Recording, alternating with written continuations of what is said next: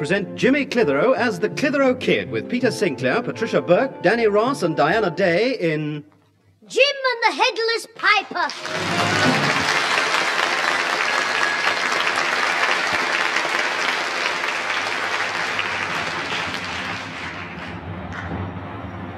Mucklebury Hope, all change. Mucklebury Hope, change for Inverclicky, Killycocky, Lochaber Cranky.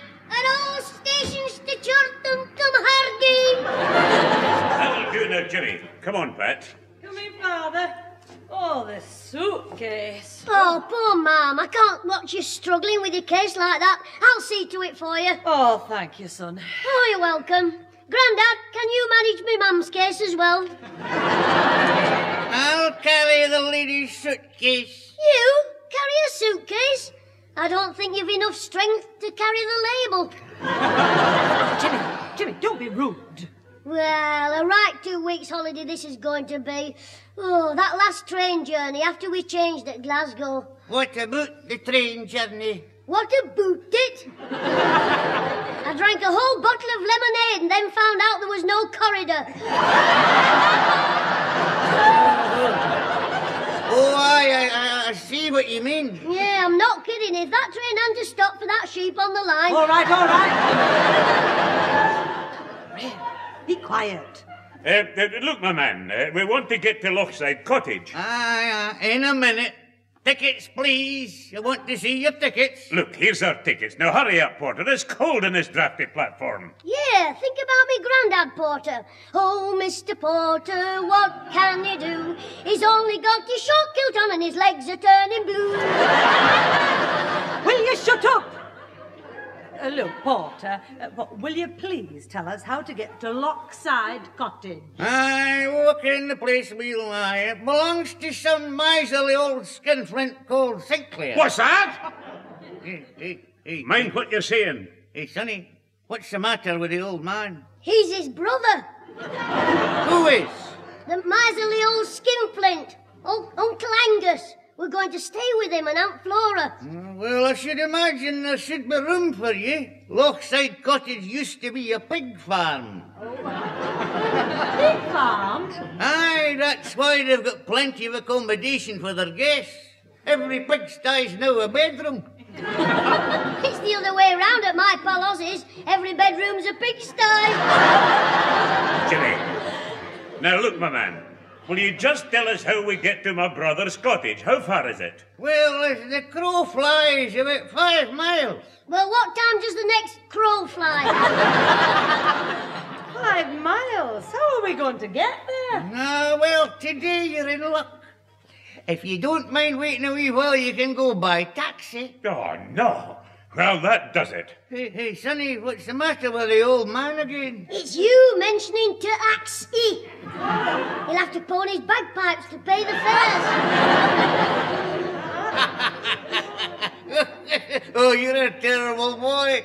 You're just what we want round here to liven the place up for a few days before the winter sets in. Winter? It's only early September. Oh, aye, but you're in Highland country, you can. The seasons change very quickly. One day you're looking at a garden full of beautiful flowers, and the next you're shivering with the cold. I reckon what you mean. Red roses one day and blue noses the next.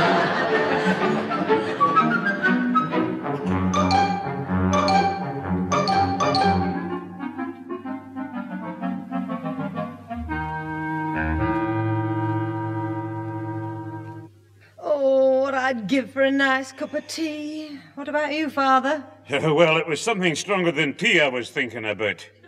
Oh, where's Jimmy? Oh, he's still up the road there looking for the taxi. Why didn't Uncle Angus come and meet us in his car? Because the porter was right. My brother's a mean old skinflint. He no doubt want the money for the petrol first. Oh, now don't talk like that, Father. He and Aunt Flora are putting us up free of charge as their guests, and Alfie and Susan as well. Oh, well, I'm sorry, Pat, but it's just this hanging about that's getting me down. Oh, here's Jimmy now. Jimmy! Jimmy, is that the taxi down the road? Yes, Mama, I think it's the uh, taxi. Uh, it's either uh. that or a dustbin on wheels. Hey, look at it. He's stopped. He's run out of petrol. Or his elastic's broken. and I'll bet he charges the earth for riding in that thing. Uh, Luke, I'll have a word with him. Uh, maybe he'll let me off cheap when he finds out that I'm a brother Scotsman. Oh, well, hurry up, Father. Uh, right. Oh, excuse me, Jock, my friend. If it uh, wouldn't be taking you out of your way, would you mind running myself, my daughter, and my wee grandson here to the Lochside cottage? Uh, I take it you ken where it is? I know the place, mate. open. Hey, you're not a Scotty, you're a cocky. um, Cockney. Yeah, that's right, mate. I'm from the good old smoke, London. Oh, well, you've got here a bit quick. the porter only phoned you half an hour ago. Turn it up, son. I live here now. I'm retired. I used to be a London cabbie and I married a Scots girl who was a chambermaid in a London hotel. Yes, well, that's all very interesting, but can we please get on our way? Oh, yes, certainly, lady. If you don't mind waiting a bit.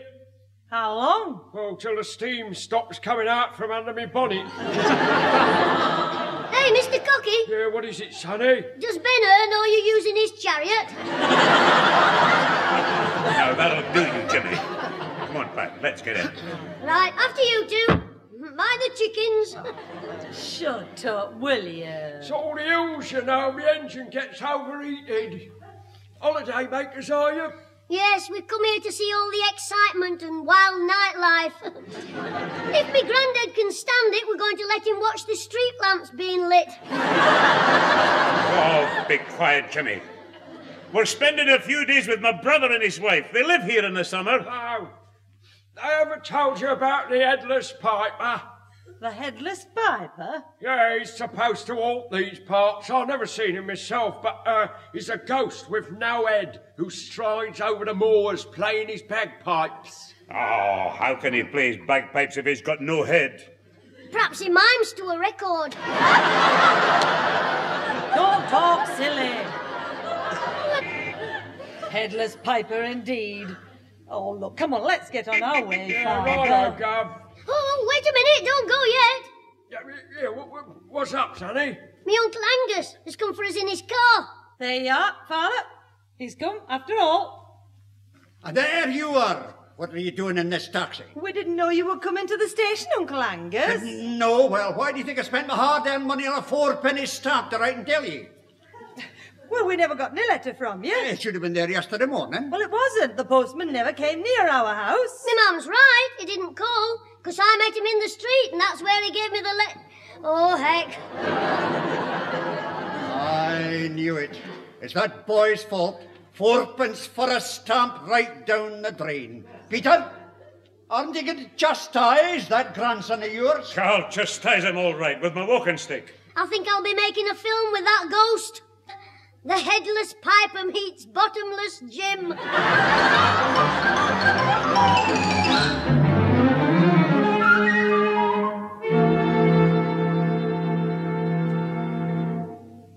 Another cup of tea, Alfred. Um, y- yes, please, Auntie Angus. Um, you, you were saying, Uncle Flora? Oh, the man. The man's putty. I, I, I was saying, I always bring these family heirlooms with me when I come up to the cottage, don't I, Flora? Aye, that you do, Angus. A bun, Alfred. Yeah, two lumps, please. I mean, yeah, yes, thank you. Give him a bun, Flora. A ninny. Aye, Mr. Hall, they're very valuable, these heirlooms, so why leave them behind in Glasgow to be stolen? I don't know why. What do you mean, why, you blithering? The Angus, Angus, now show him the jewelled dirk. I doubt if he'll know what it is. Mr. Hall, do you know what a dirk is? Well, the only Dirk I know's got another name. What's that? Bogart. it's a joke, that. a joke. This is the dirk in my hand, Mr. Hall. It's an offensive weapon for taking life, and I'm sorely tempted to use it. Now, now, that'll do, Angus. Alfred is our guest. Alfred is a stupid. bl- I mean, uh, oh, I'm sorry. I'm sorry my temper got the better of me, Mr. Hall. Yeah, that's all right. Uh, hey, Flora, are the others still upstairs in the room? Aye, Angus, they went upstairs to unpack their cases. Another bun, Alfred. Y- yes, please. oh, it's a lovely view from this window to that mountain across the loch. Now, here's your bun. Ah, That's snow on the top there. is it? I thought it was icing sugar. On the mountain, not the bun, you addle-headed numbskull. Now, now, Angus. Hadn't you better go and put the family heirlooms away in a safe place? It's Mr. Hall who should be put away in a safe. place. I'll go and do it right away. Oh, is the, is the wee boy about? Who, Jimmy? No, no, he went out in the garden to play. Uh, uh, good. I'll find a safe hiding place while he's out. Oh, Uncle Angus, have you seen Alfie? I don't mention that milk milksop of. a- he's, uh, he's in the living room there with Flora. Oh, thank you. Alfie, what have you been saying to Uncle Angus? Yeah, it was a misunderstanding, Susan. I happened to mention the icing sugar on top of that mountain. What? Alfie, what have you... Hey, a, a cup of tea, Susan. Uh, no, thanks, Auntie Flora. It's such a lovely evening, I thought I'd go out and get some fresh air. Aye, twilight can be very beautiful in these parts. Susan, why don't you take Alfie in the garden and show him Uncle Angus's late bloomers? Eh? oh, so that's what he wears under his kilt. Would you mind? Oh, I'm sorry, Susan, it slipped out. yeah, but it's a funny one, isn't it? I must remember it for Jimmy. Uncle Angus, where's Nicky? No, that's not right. Oh, Alfie, come on. You can go through the French windows there. Thank you, Aunt Flora. Oh, isn't it lovely out here, Alfie? Look at those beautiful flowers. Yeah, they're almost as beautiful as you, Susan.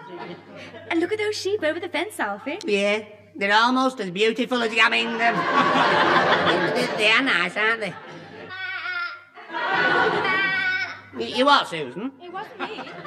Ma, Oh, of course, a sheep. How dare you call my sister a sheep? She looks more like a goat. You do. Hiding behind bushes and making your stupid noises. What do you want? I want a word with the donkey.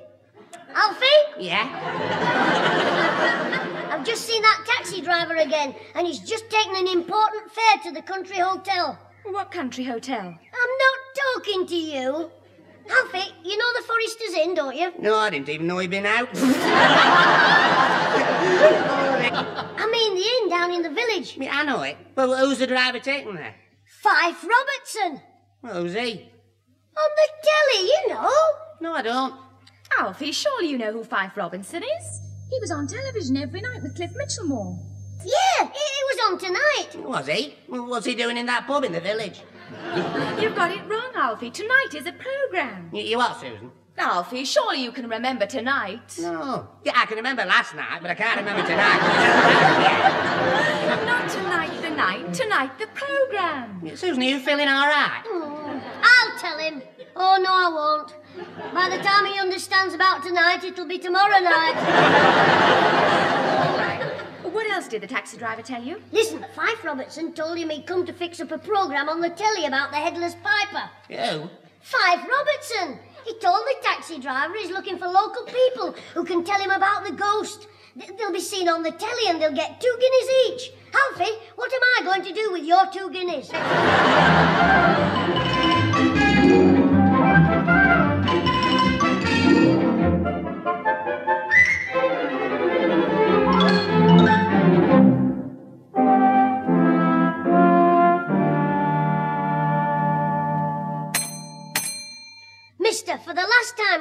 we go to see Mr. Fife Robertson? For the last time, no. Mr. Robertson is not to be disturbed. But it's important. Oh, that's what they all say. Everyone who wants his autograph. I don't want his autograph.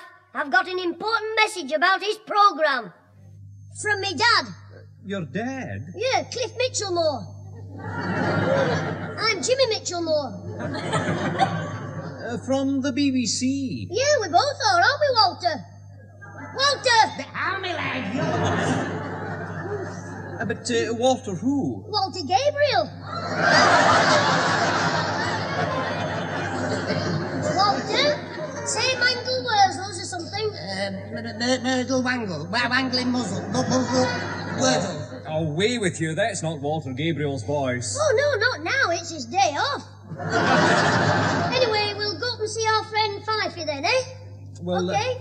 Y- you can't see him upstairs now anyway. But I've told you. He's just away out the front door this minute. What? Oh, you, you mean that bloke who just passed me? I thought thought I recognised his beard. Oh, you nit. Come on, we've got to catch him. Oh, eh, before you go, could I have your autograph, please, Mr. Gabriel? Oh, he he can't write. But he'll get one of his pigs to send you a litter. Oh, dear. Where did he get that one? Out of a Christmas cracker? Hey, there he is. Oh, Robertson. On the corner. But he's coming back this way. Right now, just leave him to me. What are you going to do? Get him back to the cottage to meet everybody and put us all on the telly. He won't bother with us. He'll be seeing all the important people in the village. You know, the, the council and the vicar and all that. He wants to meet somebody who's seen the ghost of the headless piper face to face. Or face to neck. Somebody who heard the terrible noise of the pipes and has never got over the shock. Who's that? You. Before you saw the piper, you were Sir Walter MacWalter. Now you're Daft Wally. I can't pretend I'm crackers. You don't have to pretend. I've told you. I mean, leave it to me. Quiet is here. Um, excuse me, the new. Uh, you know the hen who's on the Seasonite Deli, Mr. Fife Robertson. Oh, well, my name is Fife Robertson, and I am on the television, if that's what you mean. Oh, hey, I get it was you. You're on the night, the new, tonight, the new, the new, the next news, tomorrow, the new. I don't understand. I've come to tell you about the headless piper, and I've brought a witness, Daft Wally, here. He's seen the terrible monster floating across the bob, blowing the pipes through his ear holes. Is he a hole? Ah, well, he's got no head, you ken. Has he, Wally? Wally! no, no, no, no, Ed, but heed. Surely the paper's a myth. No, it's a man. No. oh, I think, no, no, I saw him. Oh, floating on the dog, the bog. But I want you to come and meet my uncle. He kens all about the piper. He and my grandfather see him every Saturday night. After closing time. Your uncle, now who might your uncle be? My uncle kens all about the history of Scotland. He has a suitcase full of priceless treasures from olden times. Priceless treasures, you say? Aye, and he's a very important man. Who is he then? Angus Sinclair, the Laird of Kilcranky.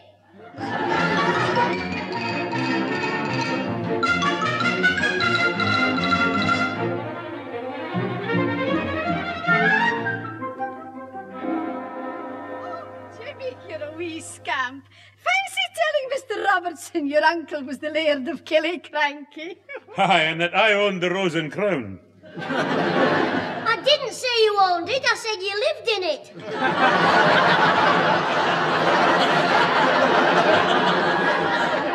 Now look here, my lad. No, no, Peter, it's just his fun. Anyway, it worked. Fife Robertson's here, and we'll all be on the telly at two guineas a time. He hasn't said he'll use any of us yet.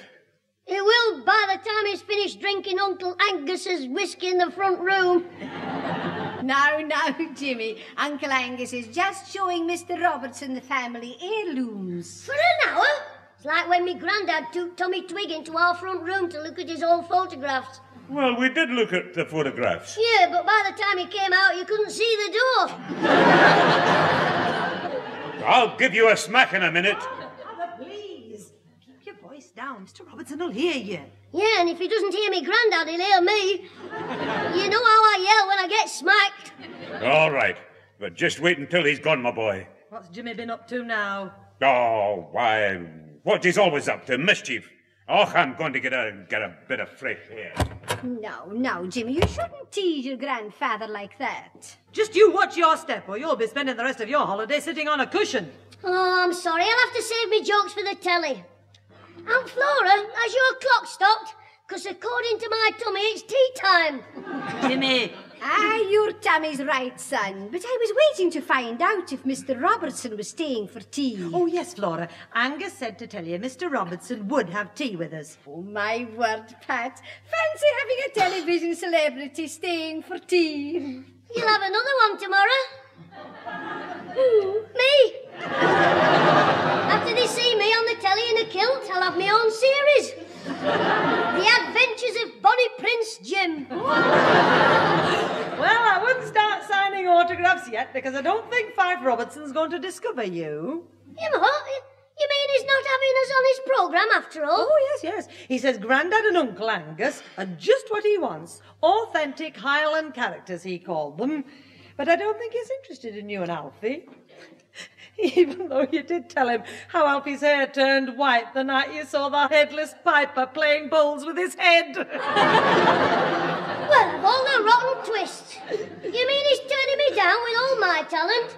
And he's using me Grandad and Uncle Angus? That's what he said. Oh, what's he putting on? A knobbly knees competition? Don't you be cheeky. After you, Mr. Robertson. No, no, my name's Fife, Angus. right you are, Fife. Uh, sit you down there. Yes, yes, sit down and, and I'll bring the tea, sir. I'll just be a few minutes making some toasted scones. I'll come and give you a hand, Flora. Mr. Robertson, it's no good just having two people on your show. You want lots of them, dozens. Hey, but there's not enough money for dozens of people. Ah, that's where I can help you. We Jimmy McClitheroe, the laddie with a hundred voices. Just sit back and get ready to clap. What are you on about, boy? Well, if I do all my voices, I'll be on about two hours. First, Robbie Burns. I want some poor the gift gears to see yourselves as others see. Before we see them as seers, ourselves see them seeing us. You see what I mean? That's Robbie Burns. What idiot told you that? Your brother. You're taking me. Second impression, Chick Murray. Good evening.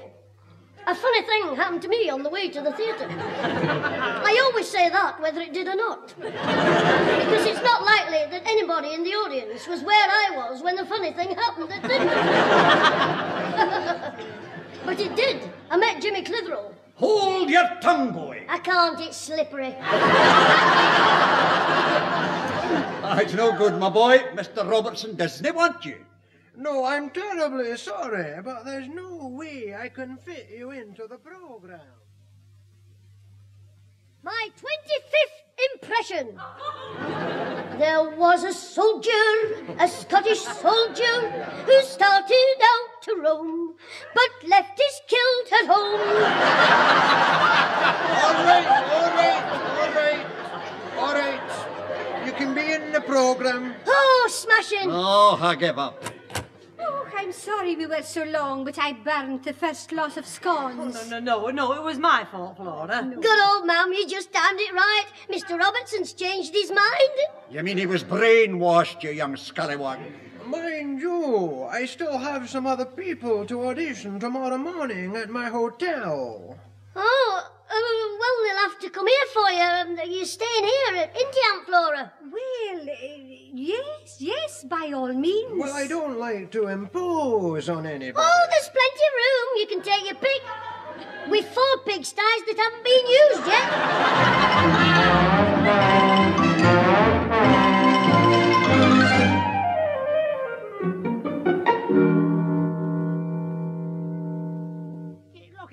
I'm doing. I'm going to get Mr. Robertson's bag. Yes, you've got his room key, haven't you? Of course I have. And he told you to tell the clerk that he'll be staying here tonight. Remember? Yes, I remember. Well, forget it. You what?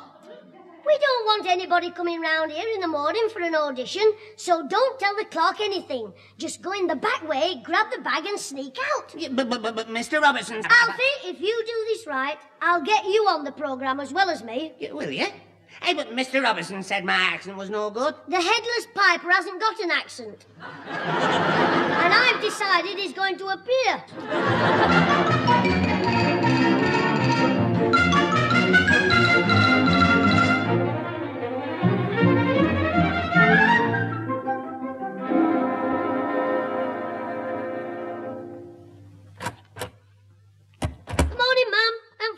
Morning, Good morning, Jimmy. Well, how's the television star this morning? Morning, Straggy Neck. now, don't be jealous. I'll get you on the telly. Advertising pork sausages. You look good with an apple stuck in your mouth. All right, all right, don't start trouble before breakfast. Oh, he doesn't bother me. Oh, yes, breakfast. If I'm going to be a Scotch lad in this television show, I'd better have two helpings of porridge, Aunt Flora. Well, we're waiting for Mr. Robertson to get back first. He wanted to photograph the dawn over the moors. That's why he was going out about 5.30 this morning. Oh, such a nice man. He insisted on having the alarm clock so as not to disturb me. Yeah, hello, everybody. Yeah, I'm sorry I'm late, but I had to shave with my new electric razor because I couldn't yesterday without the plug. But you haven't shaved. No, no, I I found my plug now, but my razor's gone. So you'll have to excuse me having my beard for breakfast. Do you want milk and sugar on it? Yeah, that'd be Shut up. That'll be Mr. Robertson now. To tell him how I want my show produced. Oh, we're never going to hear the end of this TV programme. Oh, well, the boy's bound to be excited. Anyway, weren't you in it as well? Jimmy said he'd arranged it. oh, aye, if I was willing to have my head cut off. Come in then, Constable. Uh, ma'am, this policeman uh, wants Mr. Robertson. Uh, good morning, everyone. Well, he's out, uh, but he shouldn't be long, Constable. Maybe longer than you think, madam. Um, I understand Mr. Angus Sinclair has some valuable heirlooms here. Aye, that's right. They're in the front room in a case. Uh, would you mind getting them, please, madam? Not at all. I'll just be a moment. Does Mr. Robertson want them? Because he said he was glad I mentioned them. Said he wouldn't have liked to have missed them. Is anything the matter, Constable? We'll see. They've gone. All the heirlooms have gone. The case is open with the locks broken. Oh, Angus will have a fit. That's what I was afraid of. What do you mean? Well, we've just had word from Glasgow about the man who stayed here last night. Mr. Robertson? Oh, no, no, no. He's, uh, he's somebody who's going around impersonating Fife Robertson. What? Yes, robbing houses, bilking hotels, taking money from anyone who believes his story. Oh, heck, and I was the one who brought. Oh, heck. But um, this time we've got something new to go on. What do you mean, something new? Well, this time he had an accomplice. Somebody sneaked into his hotel room and took his bag away for him, loaded with hotel silver, too. I thought it was heavy. I mean... it, it must have been. Oh, heck. What, what, what are we going to do, Jimmy? Get after him. You take the high road and I'll take the low road. Because if we don't find Fife Robertson tonight, our next tonight will be in hospital.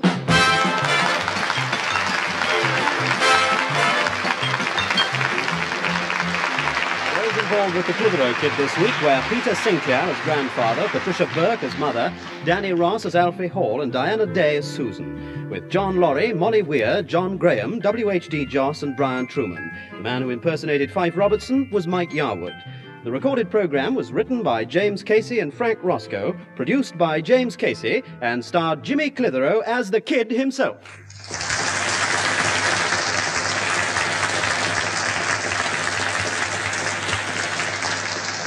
Well, it was all right in the end, because we didn't know that the crook had pinched Alfie's motorbike, and he didn't know that it was nearly out of petrol. he tried to run across the marsh and fell in a bog. he had to pull him out by his beard. They got Uncle Angus's stuff back, so I'm all right. And they never found his accomplice, so Alfie's all right. As long as he gives me a shilling a week. Ta-ra!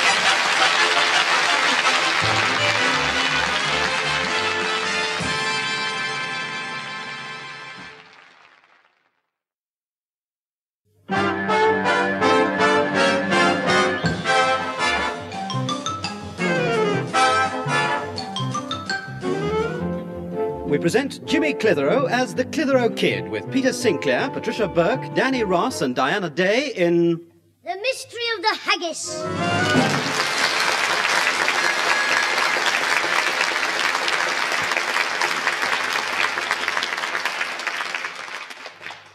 Hello, are you there, Ozzy?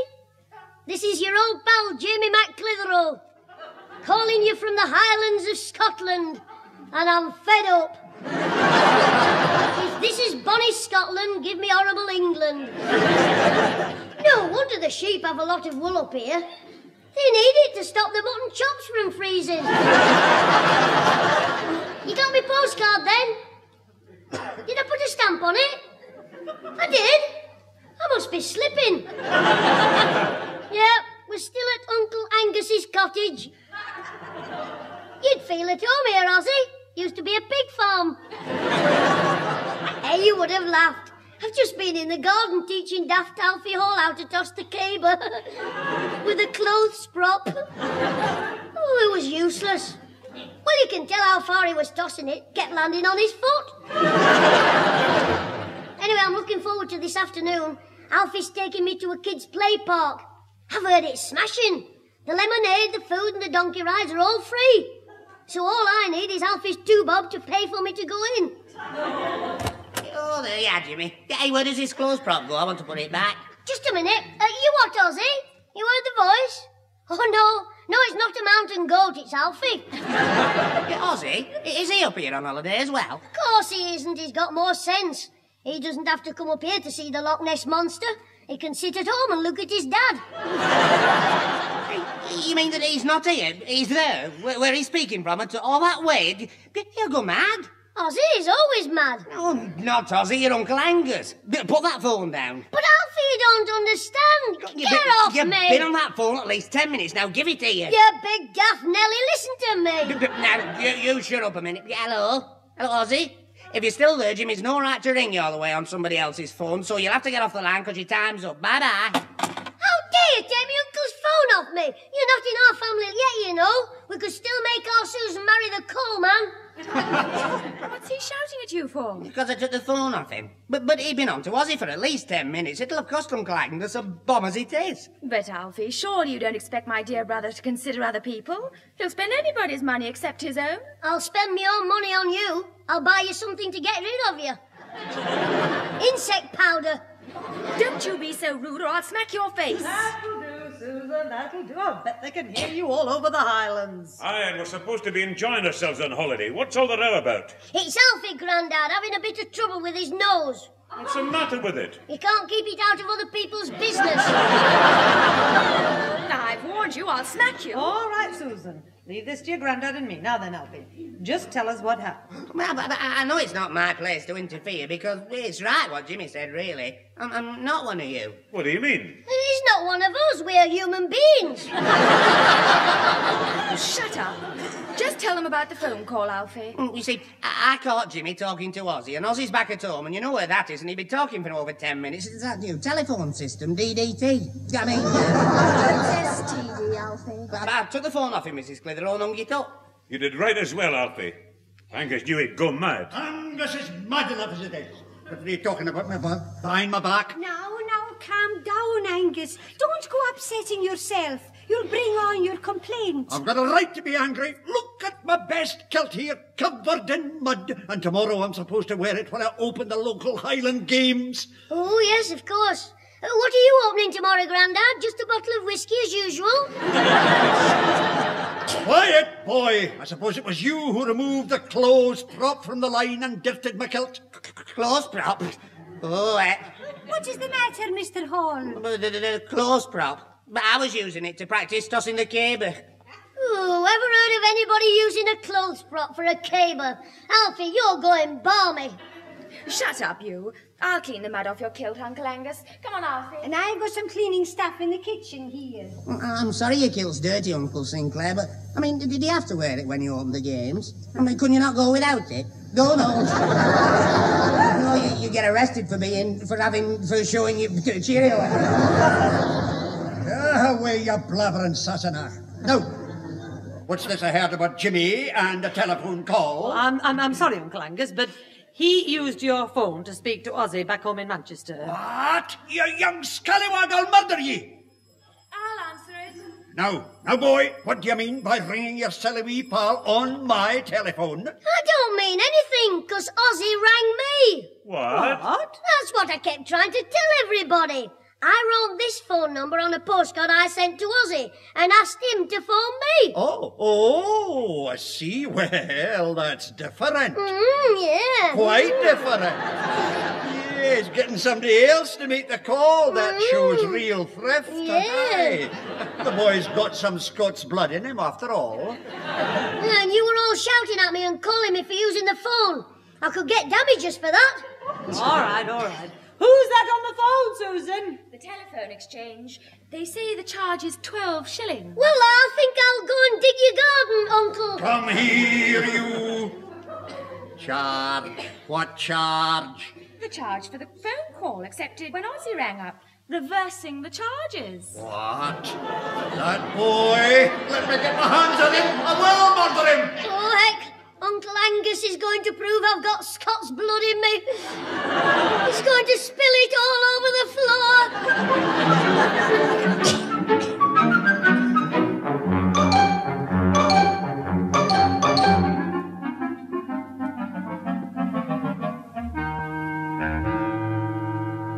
Come on, Alfie, hurry up. I'll never get to the play park at this rate. Just a minute, Jimmy.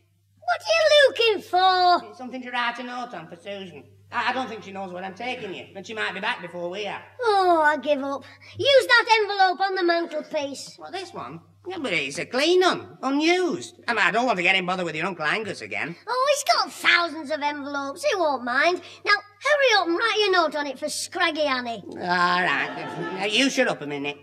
Um, d- dear Susan. No. Um, dearest one. No. sir. Um, my own beloved.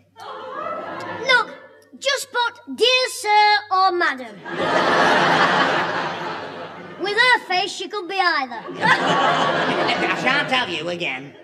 Dear Susan, I have taken Jimmy down to the kids' play park and will not be back till I arrive home. Wait a minute, you can't write that. Hey, what are you chucking that note on the fire for? I'm burning the evidence. I I mean, I'm saving you from getting into trouble. What would I get in trouble for? Uh, using one of Uncle Angus's envelopes. They cost money, you know. Ah, but you said he got thousands of them and he wouldn't mind. Ah, but uh, that was before I remembered about the boiled eggs. What boiled eggs? Well, every morning he has a boiled egg, and at the end of the week he takes the shells to the grocer's. What for? To see if he can get anything back on the empties.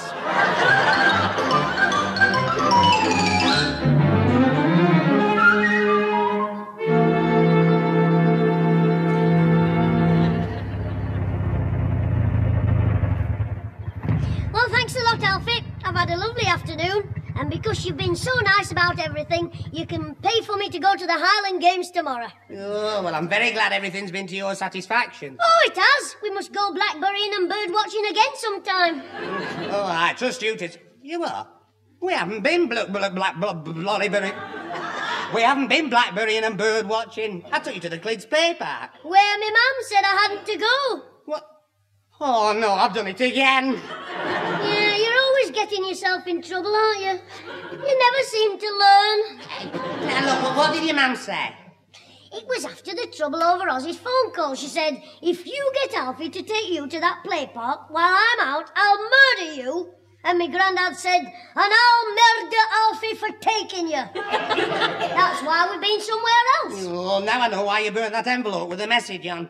They should call you Corkscrew. You're a real little twister. Oh, stop moaning and come in the house. Oh, come on then. Well, they must be in because the back door's open. Right, come in the kitchen and keep quiet. I think I can hear him in the living room. Strange Peter staying on at the McDonald's house instead of coming back here with us. Yes, I thought that. Susan, did your granddad tell you why he was staying on in the village? He said he and old Mr. MacDonald were going for a stroll to get some fresh air. Yeah, out of a bottle.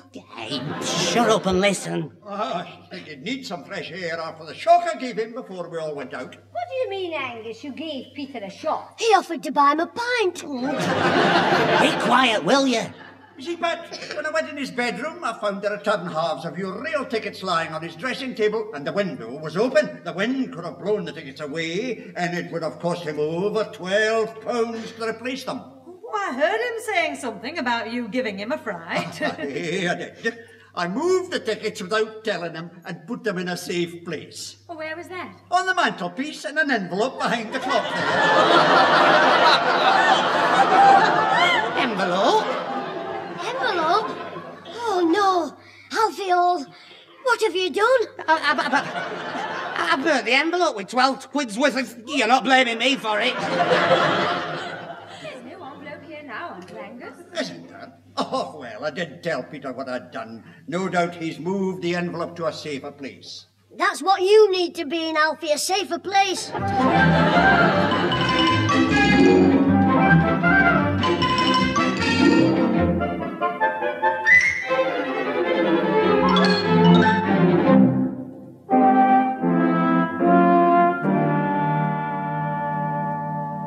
We're just going down to the garage to get Alfie's bike fixed. If this is a garage, it's the first one I've ever seen with three brass balls hanging outside. oh, stop moaning. It was a bit of luck me remembering there was a pawn shop in the town. Yeah, but, but it's daft. We'll never raise a 12 quid for them tickets like this. Oh, yes, we will. How much has he given us up to now? Oh, half a crown for my cigarette case, two bob for my crash helmet, and five and a tanner for my fountain pen. oh, that's ten bob I've raised so far. Y- you've raised? They're all my things we've pawned. well, I'd help if I could, but you heard what the man said. He can't let me have anything for a bag of jelly babies and a gobstopper. well, well, it's ridiculous. We need twelve pounds, and all we've got so far is ten bob. Oh, stop looking on the black side. He hasn't told us how much he'll give us for your wristwatch yet. Oh, I'm uh, sorry about that, but the phone has never stopped ringing today. Uh, now, uh, how much are you expecting me to give you for this wristwatch? Um, eleven pounds ten. Oh, what? You're a bit of an optimist, aren't you? I'll advance thirty shillings on it, not a penny more. Oh, all right, we'll take it. But that only makes two pounds we've got. Um, mister, do you get people coming in to buy clothes? Oh, yes, uh, sometimes. Oh, quick, Alfie. Nip on for your pyjamas. I'll nip on for a big hammer in a minute and clout you with it. Oh, no, don't do that. Save all your strength for the Highland Games tomorrow. What are you talking about? That poster over there, look. Mucklebury Highland Games and Alton Fair. Oh, yeah. The, the one your Uncle Angus is opening. Yeah. Admission five shillings. Valuable cash prizes to be won. Put in the shot, toss in the caber. Hey, listen, Alfie. Special ladies' annual event. Guess the weight of the haggis. Prize! Ten pounds! Hey, well, fancy that. To ten pounds just for guessing the weight of the haggis. Yeah, and that's how much we still want. Ten pounds. You what? Oh, I see what you mean, but the thing with the odds must be against guessing the correct weight of it. I mean, the only way you could be sure of winning was to know the exact weight beforehand. Exactly. Go and start your motorbike up. We might be going haggis weighing. Mister! Yes, uh, what is it, Sonny? Uh, who makes the haggis for t- the competition tomorrow? The haggis. Oh, uh, Mrs. McMurdo. Aye, her husband's the railway porter at Muckleberry Halt. Alfie, I know where he lives, in a little cottage near the station. Come on. Hey, now look, what, what's he up to? Look, all we've got to do is get in his cottage somehow and weigh that haggis. Oh, I see. And what would we use to weigh it with? That thing hanging behind the counter there. See the label on it? Spring balance, guaranteed to give accurate weights. Five shillings. But to buy that, we'll have to pawn something else to raise another five bob. That's right. So while I'm calling the man over, get your shoes and socks off.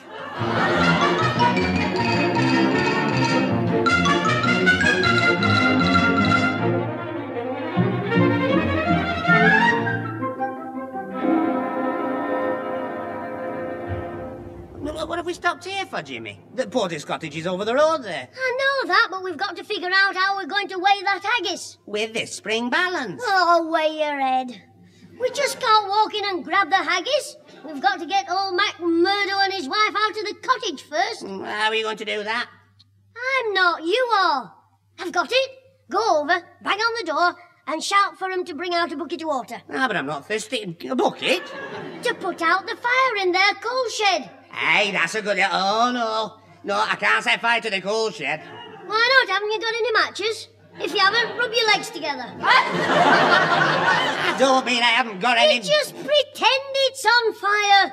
And when they rush out, I rush in and weigh the haggis. Yes. No. No. I know.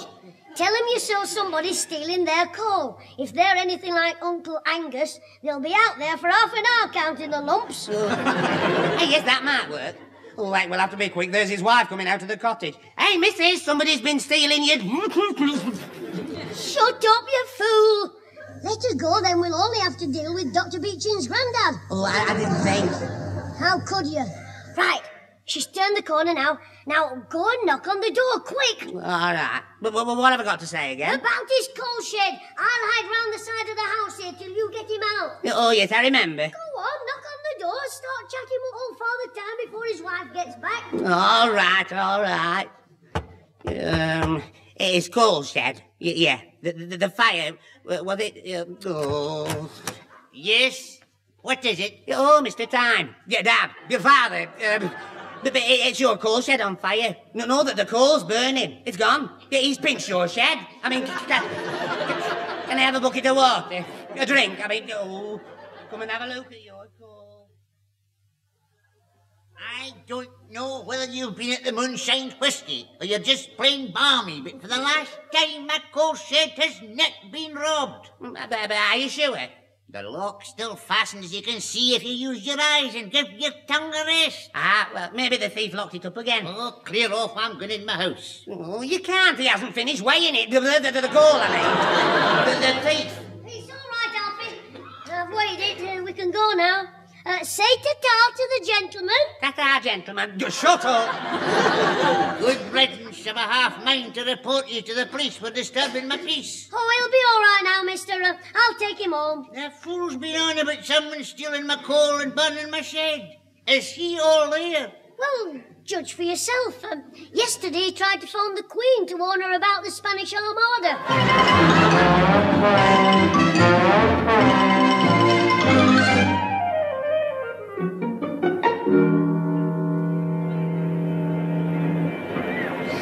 Oh, stop moaning, Alfie. We're here now. Yeah, but all the others have been at the Highland Games for an hour. Su- Susan's been waiting for me. Well, she's over there near that tent, so you can take her inside and start your own Highland Games. Oh, very funny, yeah.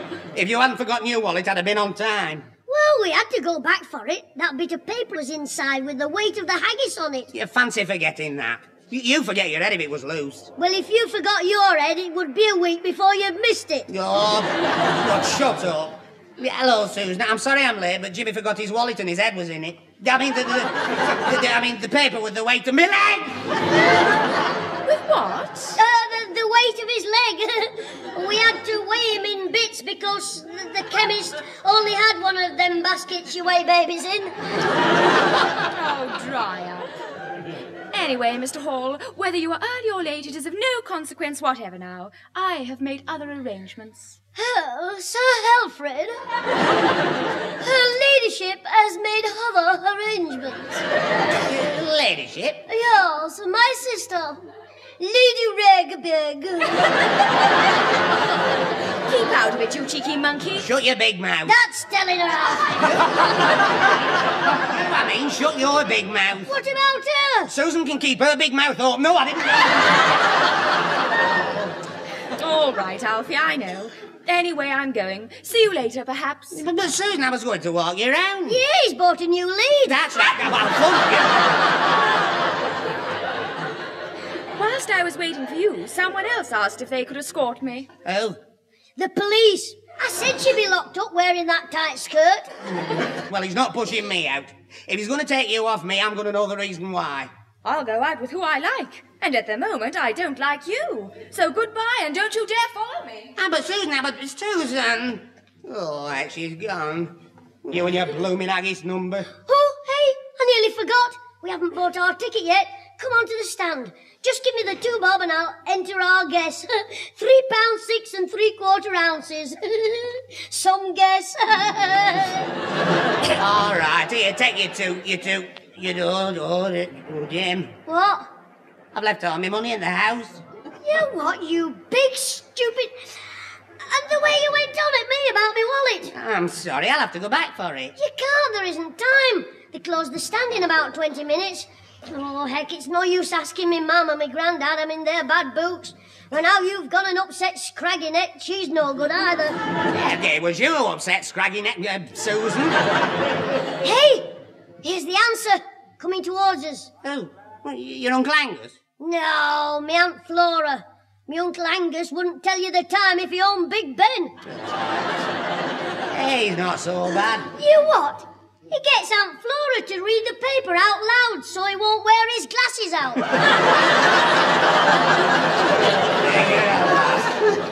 Yeah, anyway, how can you ask her with him there? I can't, that's why you have to keep him busy. How? Talk to him about the speech he made when he opened the games. I, I didn't hear him make a speech. I know that, he was making it while we were on our way back to the house for my wallet. But he won't know we weren't here. How can I talk about something when I don't know anything about it? You've been doing it for years. anyway, shut up. Here they come. Hello, Uncle. Auntie. Hello, Jimmy. It's Jimmy and Alfie Angus. So, I see, let's go back to the refreshment. Now, chat him up about the speech, Alfie. But how? Flatter him, butter him up a bit. It's easy. Your mother and your grandfather are over the other side, Jimmy. Oh, good. I mean, uh, are they? Well, I'll see him in a bit. Uh, Uncle Angus, Alfie wanted to ask you something. Oh, yes? What is it? Well, it's about your speech, but it's private, so um, Aunt Flora and I'll go over to the haggis stand. Ta-ra! Oh, yes, I do want a ticket. I- I'll just be a minute, Angus. Yeah, see you, Alfie. Don't forget about the butter. Are you buying butter for something? No, no, no, it's for you. I mean, um, I mean, up to, to flutter by, Yeah, flutter up. Nothing. If that's your question, the answer is a lemon. Pardon? I'm sorry, but it's difficult to understand you sometimes. Me? Me? Of course, everything you say is crystal clear. Ah, yes. Well, that's because I speak proper. I mean, English, not like you in a foreign accent. Foreign, You're such Sassenach. Exactly. You see, it's all right talking funny when you're a native, but I'm not. I'm civilized. I mean, I'm. I mean, I'm from England. I could speak English when I was a baby. Woman wrong. Did the nurse drop ye? You what? I could understand a Hottentot better than I can understand you. Ah, well, that's because you both speak the same language.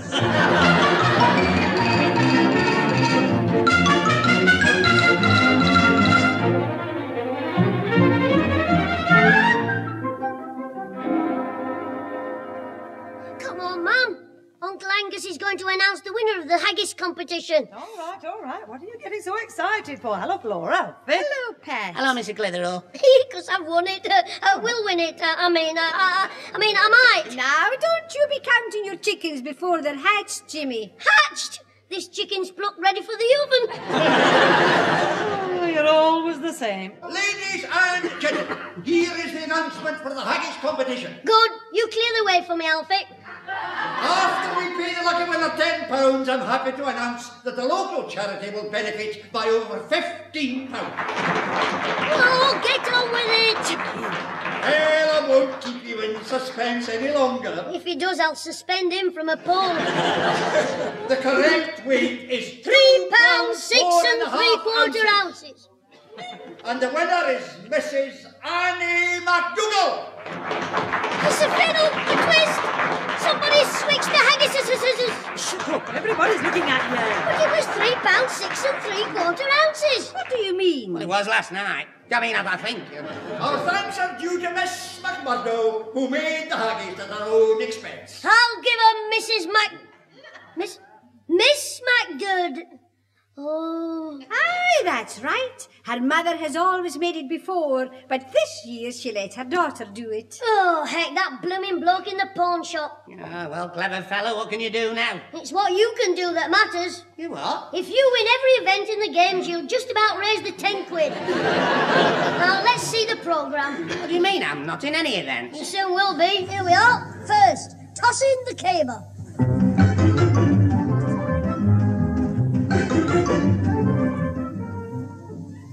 Oh, I think I've twisted me back with that blooming ball.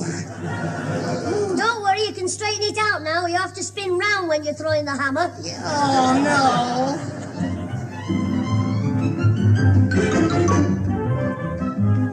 Come along, come along, my bro lads. Surely someone will wrestle our local champion, Robert McGregor.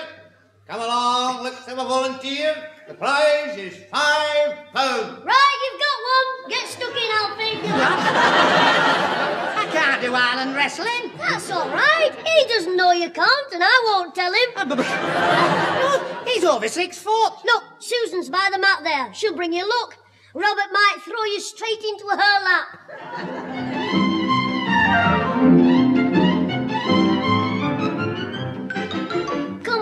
On, Drink this water. Oh, my head. Pull me back. Oh, my neck. How's your left foot? Oh, my foot's all right. Oh, well, you've got something to be grateful for then. Oh, shut up. If I wasn't dying, I'd thump you. What's all this? You all right, Alfie? Oh, goodbye, Mr. Sinclair. I think you'll have to bury me in Scotland. No, no, you'll be all right. But what possessed you to wrestle Robert McGregor? Wrestle? You don't call that wrestling. Robert shook hands and Alfie submitted with a broken wrist. Don't be funny. It was your daft idea. I told you we'd never raise twelve pounds for railway tickets. What railway tickets? Uh, that um, uh, Alfie burnt our tickets. He burnt them. So I was trying to raise the money to keep him out of trouble. What, you little fiddler. Our tickets? Well, they're here in my wallet. Look, there you are, all safe and sound. But, but, but I, I threw them on the fire. I, I mean, the envelope. I, I mean, Alfie did. The envelope. Uncle Angus put them in on the mantelpiece. Oh, I took them out of there as soon as he left the room. what?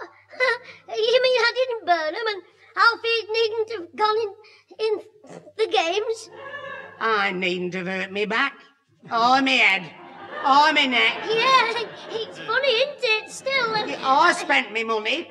I pawned me things. Alfie, take it easy. You're ill. Hurt. Remember? Dying, remember. I'll live long enough to murder you. I'll show you some island wrestling. Help! Help! Get up! Oh, oh no, he's gone mad. Grandad, send for the vet. Clout him with your claymore.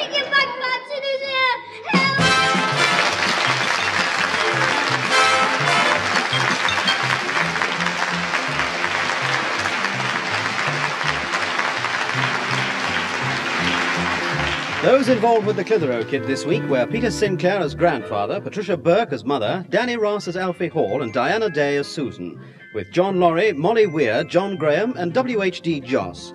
The recorded program was written by James Casey and Frank Roscoe, produced by James Casey, and starred Jimmy Clitheroe as the kid himself.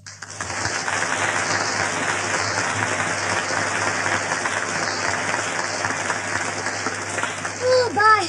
That was a shock, Alfie turning nasty. I didn't think he had it in him. Well, there's only one thing for it. We'll have to stop his porridge. Ta-ra!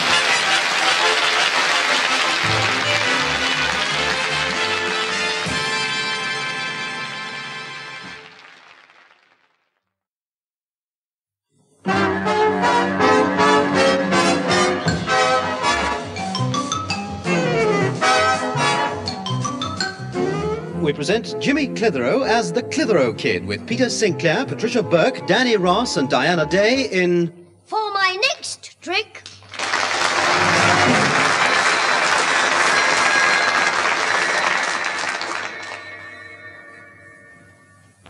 now, now then, boy, you are James, uh, James. Uh, Clitheroe, sir. oh, yes, yes, and your your um, your friend is Oswald Higgin, uh, Higgin. Uh, bottom, sir. And you're the new games master, Dolly... Do, Dolly... uh, D- Dollymore, Mr. Dollymore. Oh, yes, dithering Dollymore. Uh, you are no doubt wondering, uh, wondering why I've um, uh, brought you out here in the country, um, country. Side, um, sir. Well, I'll bet it's not to pick dandy, um... uh, Lions? Oh no, certainly not. No, I I um, I, uh, I uh, need your assistance with the paper chase I'm arranging for the boys next uh, next. Um, Pancake Tuesday, sir. uh, no, Friday, Friday. now, don't be funny. I shall require your help. That is why I am showing you the course. I've mapped it out on this piece of paper. Uh, starting from this point here, this clump of. of uh... What's that noise there, Clitheroe? Why, it's um. Cow, sir? That little fox terrier there, his lead appears to be caught round those, those, um... Come on, sir, we'll help get him free. Oh, he's got no name on his collar. Who are you, doggy? Hey, stop licking me like that. Hey, get off! You'll get me chucked out of the Black Hand Gang for having a clean neck. A good dog now, a good dog. Let me pat your, pat your... uh, oh, dear, he's growling at me. I should bat the other end, sir. the end that doesn't bite. All right, Clitheroe. Now, now I've shown you where the race will start. Uh, you can, uh, you can, you can um, uh, tr- uh, trace the route yourself and see me in my study tomorrow about one. Oh no, no, no, no, no, no, no. That's uh, that's lunchtime. Better make it two. And, uh, what's the time now? It's just turned four. Hey, did you notice that, sir? Every time you said a number, the dog barked it. Yes, yes, I, I, I do believe you're right, boy. Yeah, he counted the numbers. Perhaps he's a performing dog. Hey, if he is and he's lost, I'll bet his owner would give a nice reward to get him back. Well, uh, let, us try him with another number. Um, uh, uh, uh six. He said six. Now,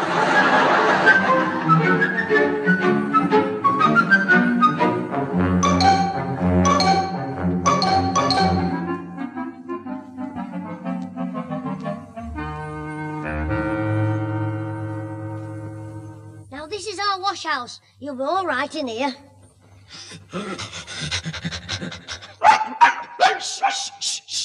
You mustn't know you're here. I'm not allowed to bring dogs home anymore. It annoys me granddad, 'cause the last one I brought home was a St. Bernard. And it had nothing in its brandy barrel. now, I'm going to shut you in now, so don't make a noise. I'd better look in the paper, in the lost and found column. Come on, Jimmy. Tea's getting cold. Come in, Grandad. Oh, is that tonight's paper you've got there? Aye, it's just come. Now hurry up and get your tea. It's uh, fish cakes. I know it's fish cakes. It's always fish cakes. I've eaten that many fish cakes. Every time I go to Blackpool, my tummy goes in and out with the tide. Come in the kitchen and stop complaining. Oh, all right. Can I have the paper now, Grandad? I don't like you reading at table. What do you want the paper for? Well, to look for another for a lost dog. A what? No, lost dog. Come on. Woof, woof. Just stop it, Jimmy. Did you say a lost dog? Yes, Mum. A very clever little dog. He can count numbers and do lots of tricks. Who found him? Um, a lad in our class at school found him. And, um, this lad thinks he might get a big reward for him. Well, I'll look in the paper for you. Uh, what sort of a dog is it? Oh, usual sort. Four legs, two ears. Sniffer at the front end, wagger at the back. Oh, dear, you and your joke. What colour was the dog? Uh, brown and white with a black patch over one eye. This lad who found it thinks it's a performing dog. Well, there's nothing in the lost and found column. Wait a minute, though. I've seen a dog like that at some theatre somewhere. In a variety show. Is it a fox terrier, Jim? Yeah, that's right, Grandad. Smooth haired, white paws. Aye, I remember now. What was the name again? Oh, yes. The Amazing Abdul. That's a funny name for a dog. That was his master. A magician in an eastern clothes and a turban. Did conjuring tricks. His best trick was where the man muzzled and blindfolded him. He put him in a sort of box with one side made of glass, and, and you could actually see the wee dog stand on a stool and open the door himself from the inside. Oh, that was clever, Father, I must say. Oh, aye. Mind, all the dog had to do was lift the latch. It was like the one in our washhouse door. Well, I think it was very clever getting out of the out of the. Oh heck! What's the matter with you? Oh, uh, nothing, Mum. nothing at all. What's that noise? Uh, me, Mum. It's them fish cakes.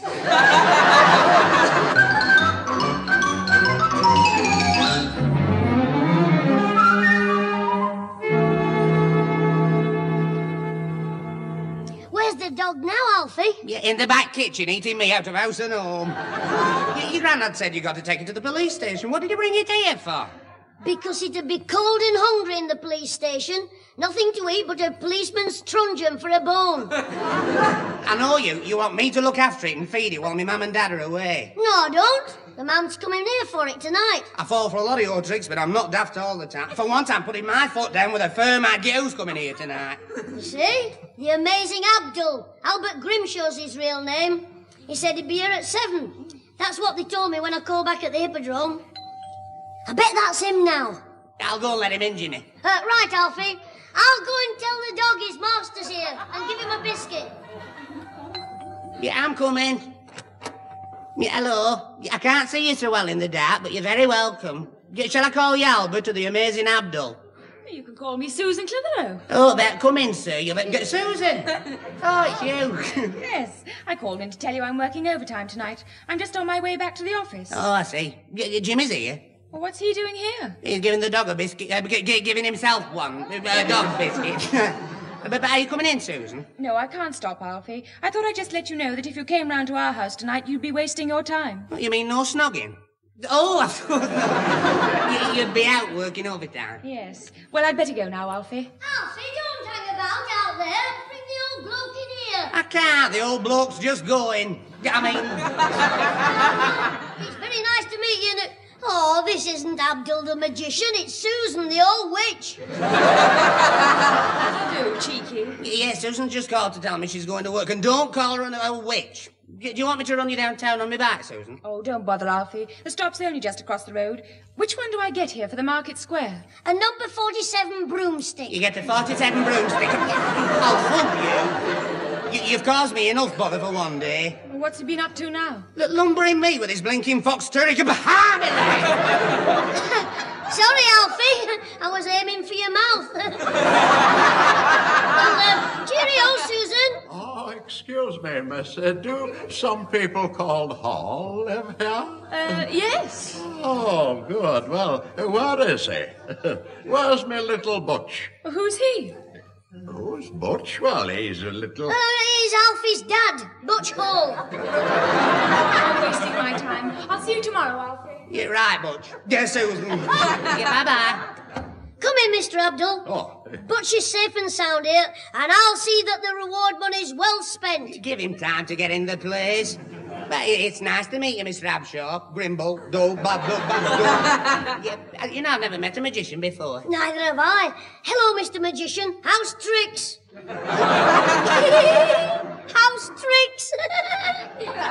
it's a joke. Well, he could have fooled me. Still, you know, I'm very glad you asked me about me tricks. I've got a few in my case here, you know. Yes, I always welcome a chance to practice them, they say. Have you ever seen me work? No, no, but I'd like to. Oh, well, now you can see me tomorrow night, you see, because I've got another booking at the Gas Workers Club. yes, 15 guineas and all the coke I can eat. Oh, get on with it. Get on. Uh, well, now, I shall come on, you see, in me Eastern clubber, and the act will go something like this, you see. Now, this is what I shall say. I Greetings, salams, and watcher. Now, for me first trick, I require two new ladies. Is there a hen in the house? That's my first joke, you see. you could have fooled me. I shall also require the services of a volunteer from the audience. Anyone will do. And to complete this amazing trick, abracadabra and sim salabim. Thank you. Hey, hey, that's marvellous. I never knew till now I've got eggs in my ear holes. yeah, it's a good trick, that. Mr. Abdul, uh, uh, what about Butch? Oh, of course, my friend. The moment you've been all waiting for, isn't it? Of course, yes. The duet. You, what, you mean you and Butch sing together? Oh, my word. Yeah, You, you like this, you know, yes. Now, are you ready, Butch, old friend? ah, that's right. Now, clear your throat, then. oh, splendid, splendid. Yes, off we go now. Daddy wouldn't buy me a bow wow. Daddy wouldn't buy me a bow wow. I've got a little cat and I'm on that all together now, Butch. But I'd rather have the bow wow.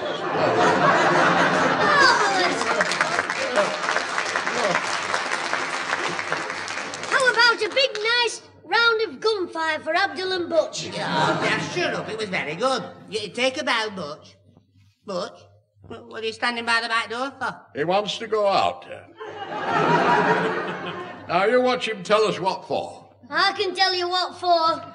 He heard you singing and he wants to be sick. You be quiet. What do you mean he'll tell us, Mr. Abdul? Well, now listen, listen, listen now. He'll give one bark for walkies and two marks for the other thing. Which is it, Butch? It's the other thing. and I think it's urgent. Um, I'll take him then. Yes, all right, Mr. Hall, but just keep a tight hold on his lead, you see, and you'll be all right. Just keep a tight hold on him, Just keep a tight hold on this, on him, Mr. Hall. Just keep a tight hold. You twit, Alfie Hall. I'm sorry, Jimmy. You ruined everything. Just when I got a tight hold on the ten bob note he gave me for a reward. Oh, I'm sorry, but he went for next door's cat over the wall. Abdul told you to hang on to the lead. Well, I did when he dragged me across the lawn over the rhubarb through the nettles, but when I hit my head on the oak tree, I had to let go. yes, and I had to let go of the ten bob note because he wanted it back. It's not in any of the gardens, and I don't mind telling you I'm very worried. I'm sorry, Mr. Abdul. Yeah, well, so you should be. I mean, I can't work without Butch tomorrow night, so that's 15 guineas up the swanny. Yes, and anything can happen to the poor little thing, you oh, He's a stranger in this district, Oh, d- don't worry, Mr. Abdul. We'll Yeah. find Butch before tomorrow. Yes. Even if Alfie has to search all night. Any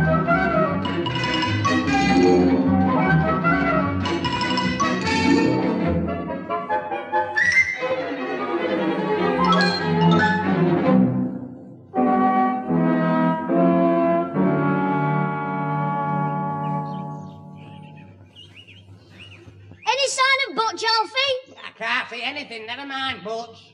Well, climb further up the tree. If you get to the top, you can see for miles. It's not safe. I'm not a monkey, you know. I know, but if you don't find Butch, you'll be a dead duck. Hey, what are you doing on my lawn? Oh, heck. Get down, Alfie. It's the farmer. Jump down. I can't jump from this height. I break my neck. Ah, oh, See? You don't know what you can do till you try. Here, let me give you a hand.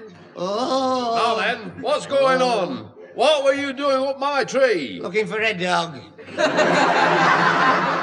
Very funny. I suppose it had a nest up there full of pups. Uh, the dog ran away, mister, and we couldn't see him from down here. So I thought I'd look for him up the tree. N- Not him up the tree, but me up, so I could see him down here, wherever he is, but I couldn't. It's up the pole, you should be.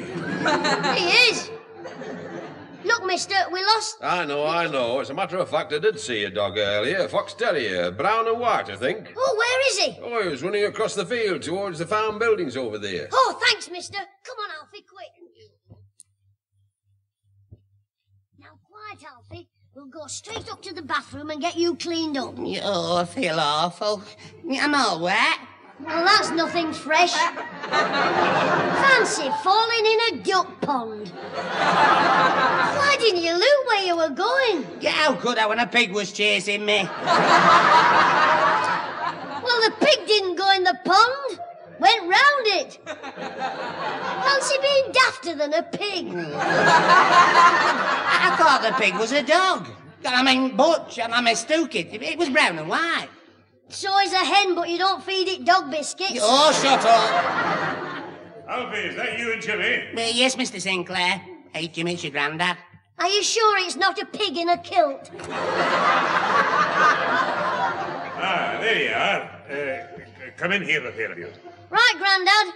Alfie, don't mention the dog. All right, I'm not daft. Now, uh, what's all this about a dog you've lost? Yeah, we haven't got it. You had it. You lost it. It's a pig. Alfie, you're soaking. How did you get so wet? It's raining heavy. In the duck pond. It raining. but on, on the ducks. I, I mean, I, I fell off a pig up a tree. A pig was up a tree. Oh, not a pig. It, uh, it, uh, it was uh, in the duck pond. You rescued it, didn't you? But yes, the, the duck was drowning. I mean, I, Oh, never mind that rubbish. Have you found the dog? Dog, Grandad? My dog that he lost. Oh, heck, it's the Wizard of Oz. How did you get here? Well, I didn't fly here on my magic carpet. I walked here in the rain looking for my butch. But, but how did you know where I lived? Oh, well, your friend Mr. Hall told me. Oh, did he? Come here, friend, while I dry you out. In the gas oven.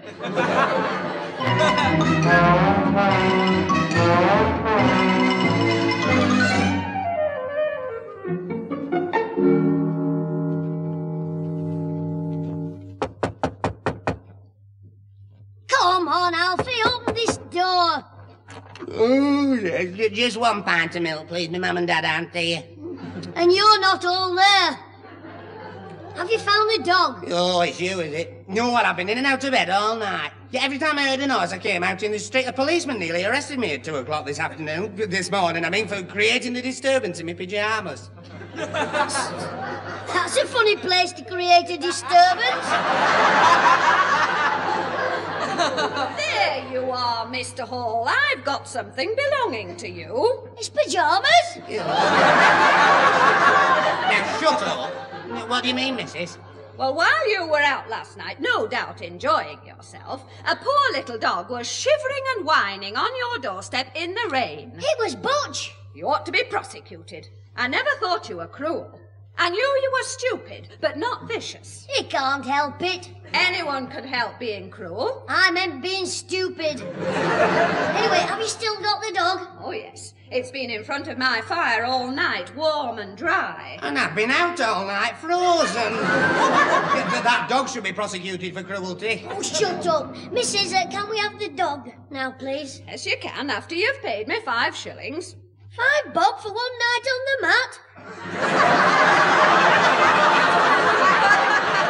I wouldn't pay it, Alfie. It's for the fillet steak and apple pie he ate. Fillet steak for a dog? Well, what do you give your husband? Dog biscuits.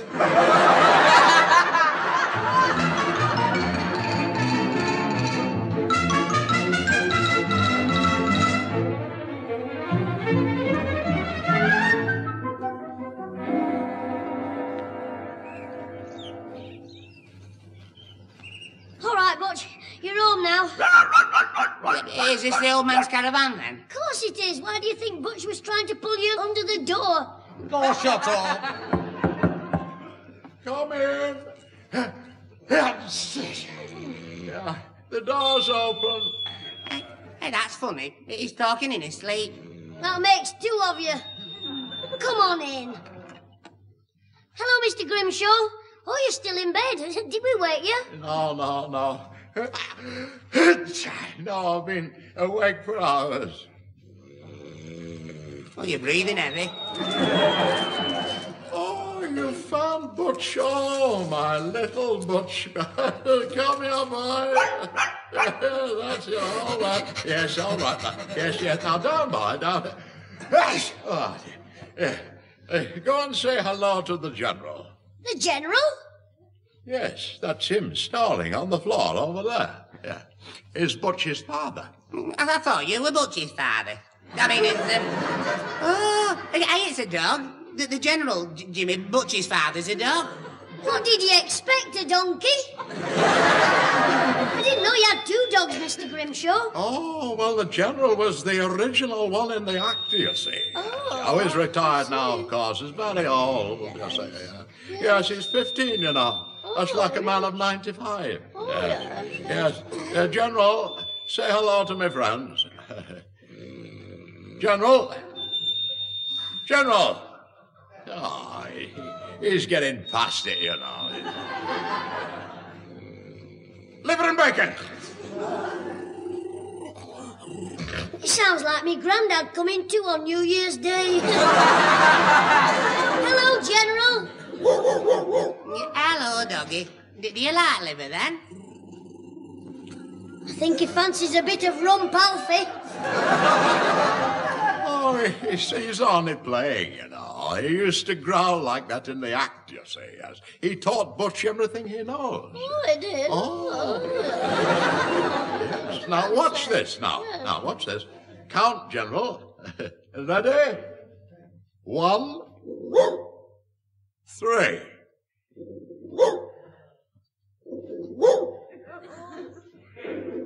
You see?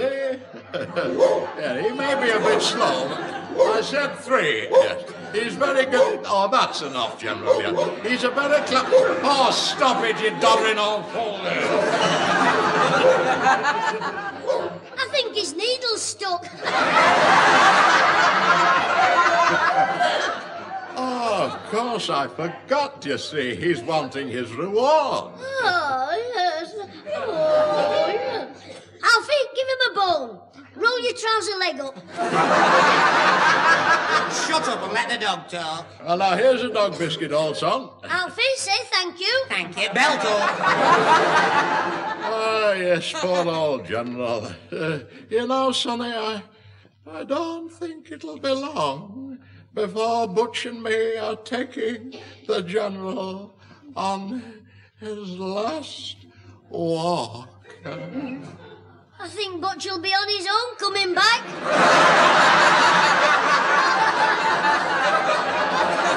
Mr. Grimshaw, lie down. You ought to see the vet, uh, doctor, I mean. Oh, I've seen him, I've seen him. A neighbour sent him over today, told me to stay in bed for a week, silly old fool. How can I? Why not? Because the show must go on.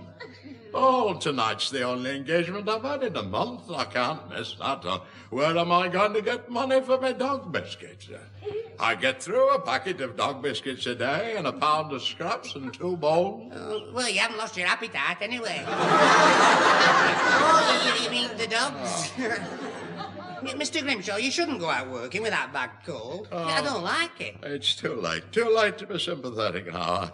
I wouldn't have been ill at all, you know, if I hadn't been out in the rain searching for Butch. Yeah, it's all your fault, Alfio, letting Butch run away from you. Course I should have known when I saw what was on the dog's lead. What do you mean, what was on the lead? There was a dog at one end and a goat at the other.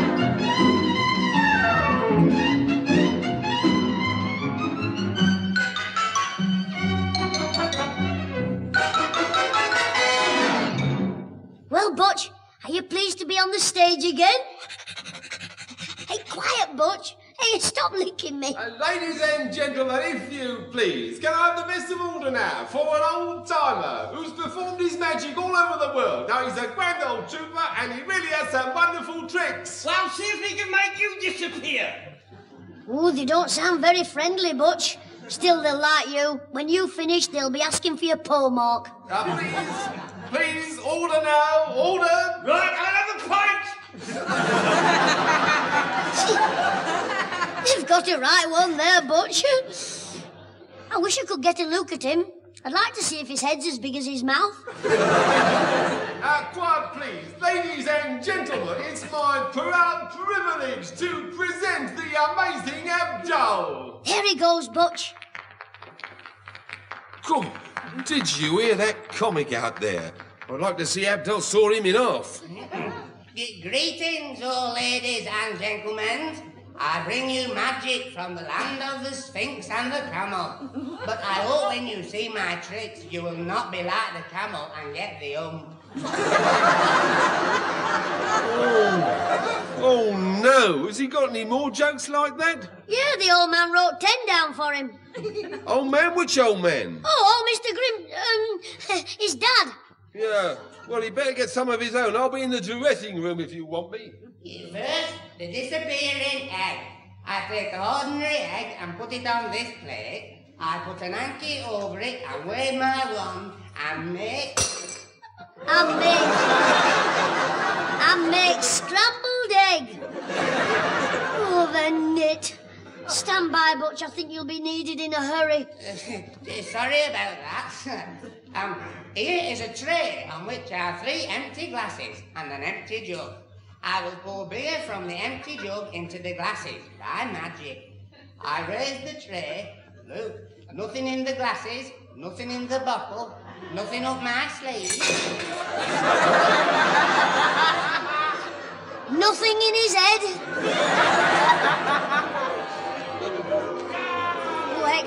Here we go, Butch, before they lynch him. Ah, here he is, Butch, the educated dog. Yeah, but the ignorant master. Listen, Butch, how many are two and two?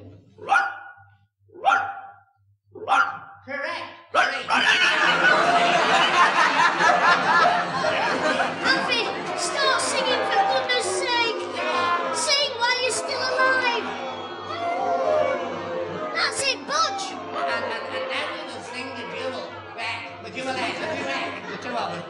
Da- Daddy would remind me about wow. Daddy would remind me about wow. I've got a little cat, and I'm very fond of that.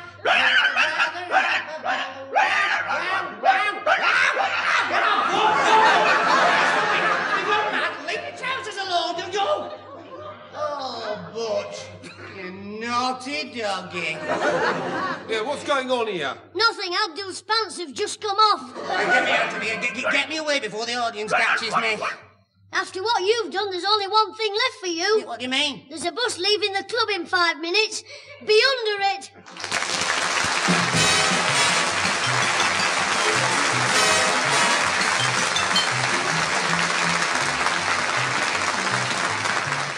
Those involved with the Clitheroe Kid this week were Peter Sinclair as grandfather, Patricia Burke as mother, Danny Ross as Alfie Hall, and Diana Day as Susan, with Deryck Guyler, Jack Watson, and Rosalie Williams. The dogs were played by Percy Edwards. The recorded programme was written by James Casey and Frank Roscoe, produced by James Casey, and starred Jimmy Clitheroe as the kid himself.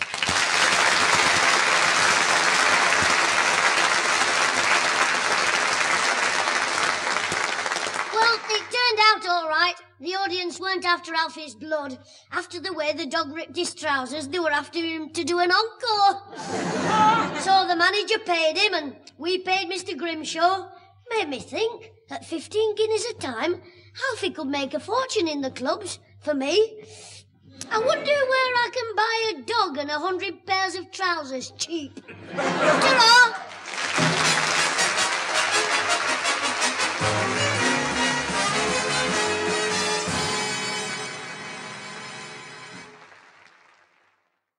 That adventure of the Clitheroe Kid was first broadcast last October in the Light programme.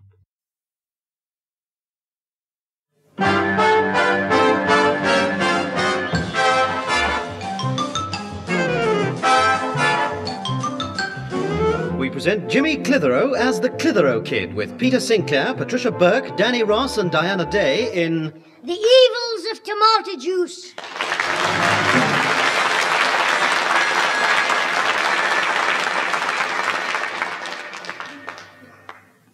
Well, he hasn't given you much notice, Alfie. When's this pal of yours getting married? Yeah, Jack Turner. Oh, this Saturday. And he only found out the other day that his army pal can't be his best man, so Jack had to fix up a replacement, uh, you know, in a hurry. So, so he can get spliced and be off on his honeymoon. He's going abroad with a dozen NAAFI girls.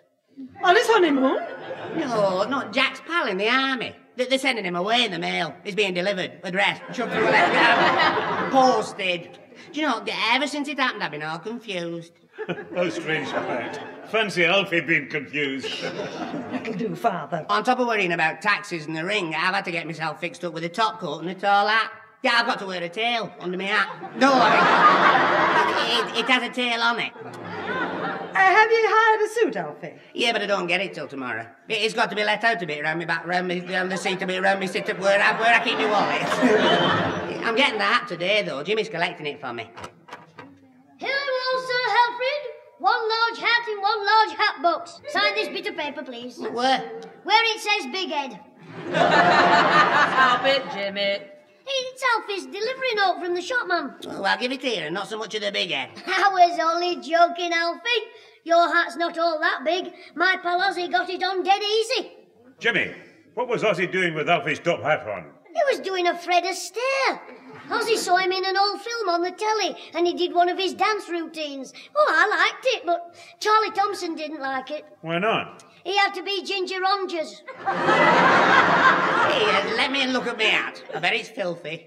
Put it on, Alfie. If he's dirtied it, I'll murder him. Yeah, there.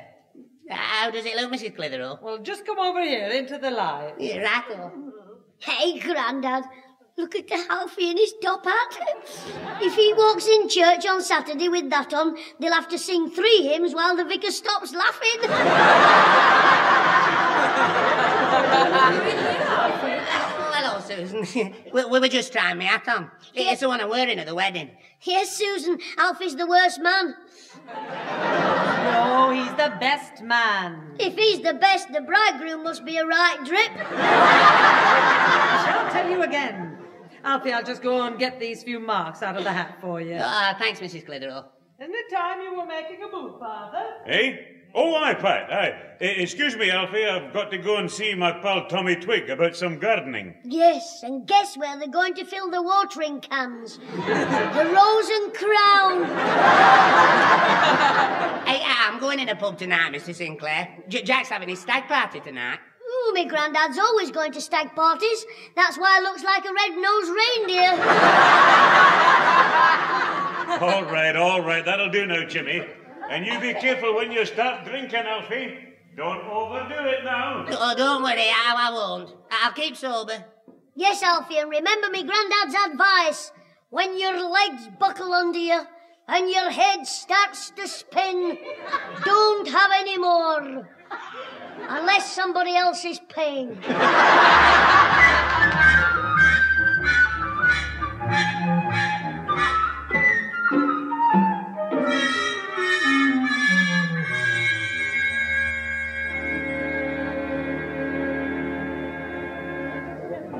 Go on, Alfie, tell us that funny thing old Sinclair says. You, when your head buckles under you and your legs start to spin, because I'm paying. right, good stuff for I'm drinking. Uh, do, do- do you know what it is? It's 95% proof tomato juice. Charlie, what have you been putting in his tomato juice? Nothing, except for a double measure of vodka. Yeah, well, well, turn it up. He's my best man on Saturday, you know. Well, so what? He's got two days to go. Should have sobered up by then. I'll, I'll give you all a treat, I'll think for you. This'll turn fire engines out. Oh, we danced on the night we were wed.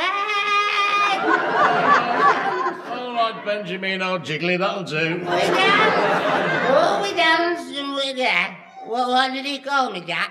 He called me funny name, I'll thump him. Shut up, it's, it's the landlord. I knew he'd be over when you started singing. Oh, he wants to join in, does he? Oh, come on then, landlord. You and me'll give him a quartet. Oh, how we dance on the... Hey, by, by the way, landlord, has anybody told you you tell smashing to tomato jams? All right, all right, all right. Now, come on, come on. About this singing. Right, it's for my pal Jack here. I'm, I'm singing him a wedding serenade. He's getting married. Oh, how we danced on the night we were wed. Now, listen to me, listen to me. Here, half a minute, half a minute. I haven't got a license. Are you getting married as well?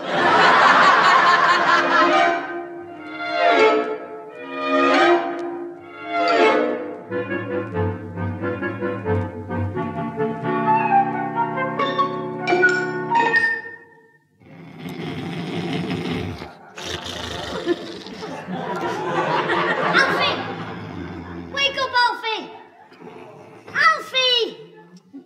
on, Rip Van Winkle. Your hundred years are up. Oh, my head. Alfie, are you all right? You've gone the colour of me granddad's cucumber. Oh, dear, um, don't, don't, don't shout. I'm, I'm not well. Oh, I'm ill. That's what your mum said when she sent me up. I know, you know, she had to put me to bed last night. And what did my dad say? He's like you, he's not very well either. How do you know? He said, that stupid son of mine, he makes me sick. Oh, like I thought he was mad at me. Well, you'd be mad if you fell over your own son in the coal shed. How did you get in there? I don't know. I can't remember anything. What do you want, Jimmy? I've come to do your errands for you. Mm, What errands? Well, all the things you've got to do before that wedding.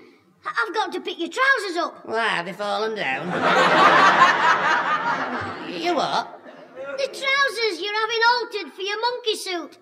I'll collect them for you, and then I'll get a flower for your buttonhole and some confetti, so you'd better give me the money now because there's the chocolate fudge as well. Oh, I see, but...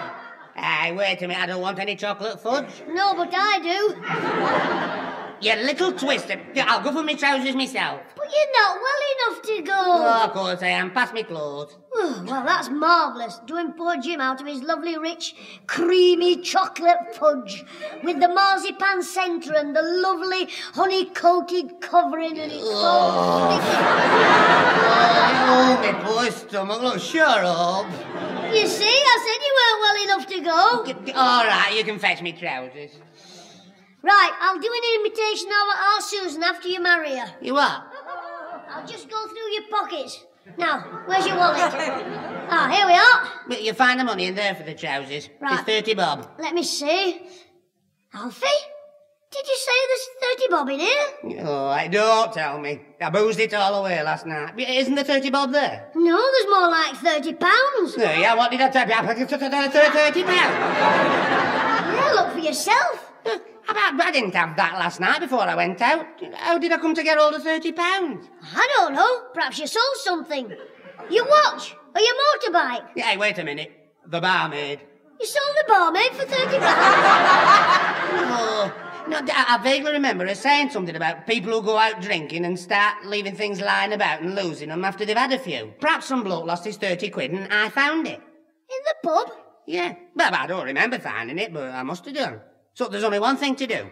Go to the police station and ask if anybody's lost 30 quid. I've got a better idea. What's that? Go and ask him at the corner shop. Ask him what? How much chocolate fudge we can buy for 30 pounds. Come on.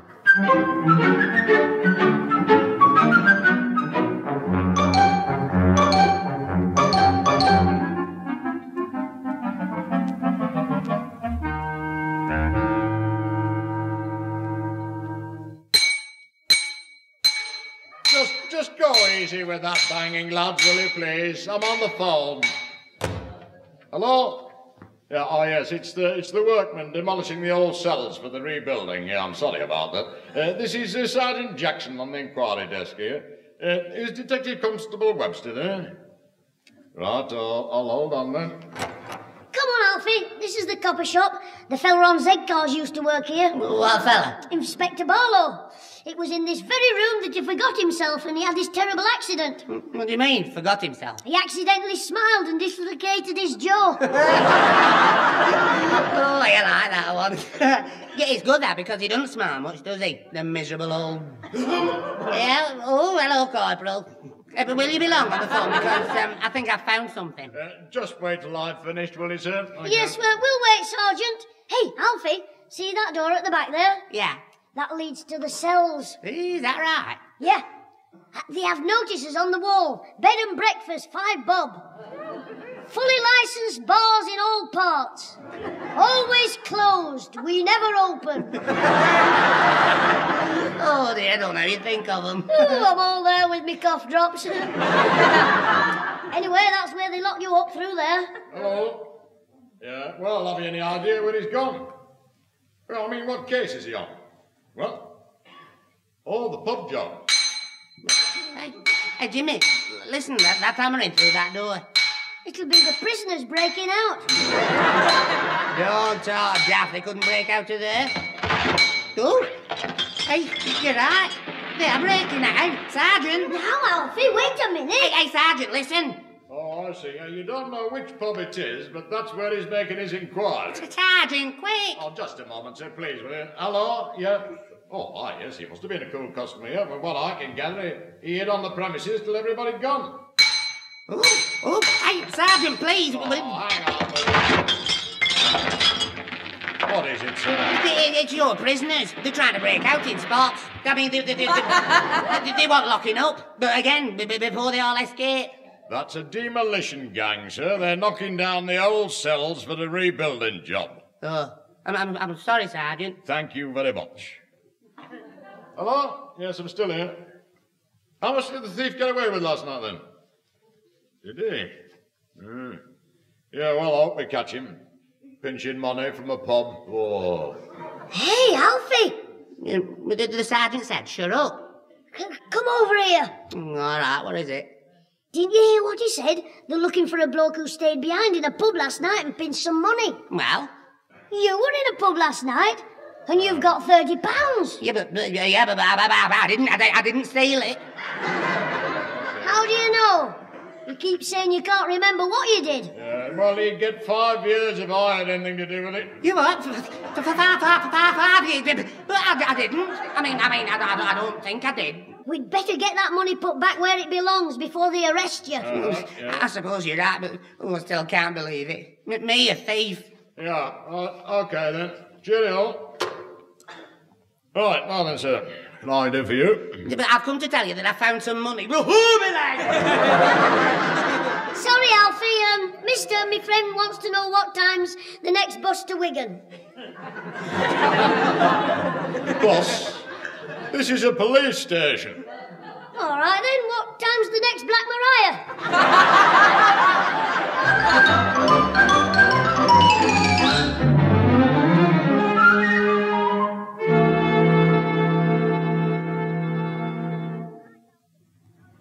right, Alfie. Now, you sure that's the pub you were in last night? The Black Bull. Of course. It's written over the door. The Black Bull. Get away. Are you certain this is the one you pinched the money from? Yes, yes, I'm, I'm positive. I think. I mean, I, I don't, I don't remember the, the money. Not the pub. I remember that, but I don't believe it. The money. I mean, I've never been a thief before. How do you know? You stole the money when you were drunk. For all you know, you you rob a pub every time you have a pint. I didn't have pints. I only drank tomato juice. Tomato juice? Well, it's a good job you didn't have ginger beer. or you'd have done another train robbery. anyway, he's opened the pub now, so get in while the room's still empty. You're right, I will. What for? Oh, Hank, I told you come in here on the motorbike. You're going in the pub to put the £30 back in the till. But the landlord's in there. He'll see me. Put it in as soon as he leaves the room. But he might be hours before he wants to be ex. Leave the. Go out, I mean. Just leave that to me. All right. But I still don't see how you can help. Is there anything uh, wrong with that tomato juice, sir? Eh? Oh, n- no. Well, I've just wondered, like, you know, I mean, because you've, uh, you've hardly touched it, have you? I don't want it. I mean, um, to, to drink, yeah, I'm waiting for it to go cool. Just to settle. It, it's to put my head right, me hang under, be over me hang, hang, but, and you're going out? I'm sorry, but I'm not with you. I mean, why should I want to go out? To spend a pe- to answer the phone. But the phone didn't ring. Howdy, partners! Everybody up to the bar. The drinks are on me. What the devil? You... Damn me breeches if the saloon ain't empty.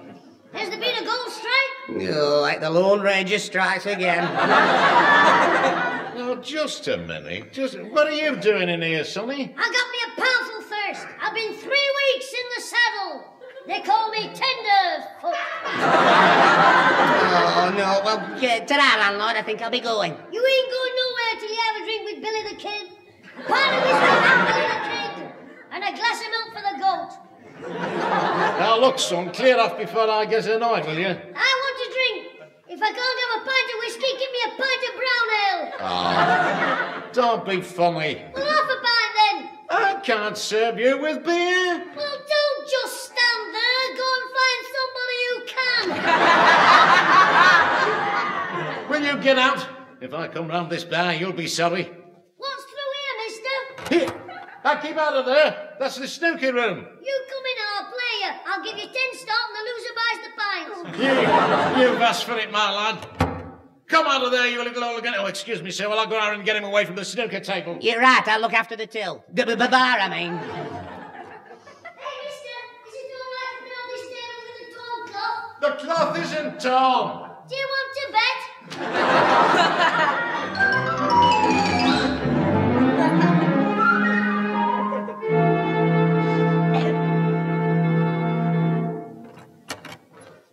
Alfie, and stop giggling. well, it was funny.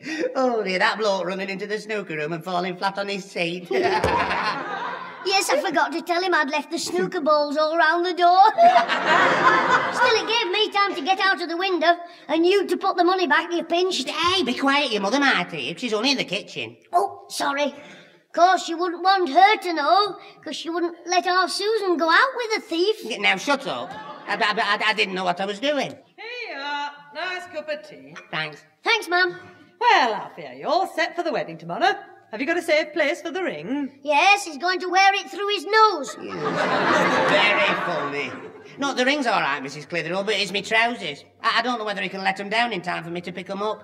The, the, the, the tailor, I mean. Pardon? Uh, he says his trousers are too short, so I told him to wear spats like old Mr. Blenkinsop. Oh, God, look a right idiot in spats. Well, cut three inches off your legs then.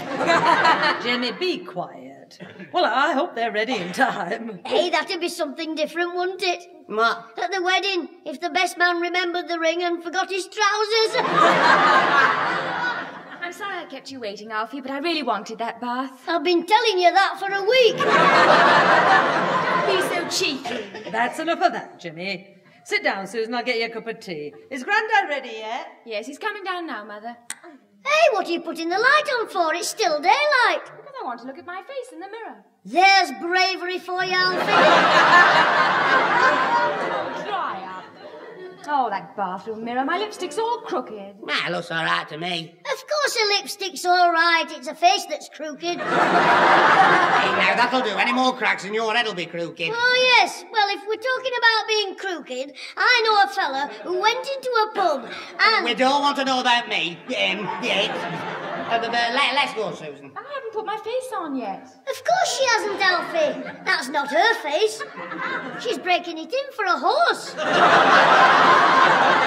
You're going to get such a smack in a minute. Hello, hello. I see you two are at it again. Every time I walk in, I, I, I catch you rowing. Well, that's because you wear rubber soles. all right, all right. Now, let's have no more of your comedy. Here's your tea, Susan. Oh, and yours, Father. Thanks, my Thank dear. you. I'll pour a cup for myself now and rest my feet for a minute. What, in the teacup? Shut up.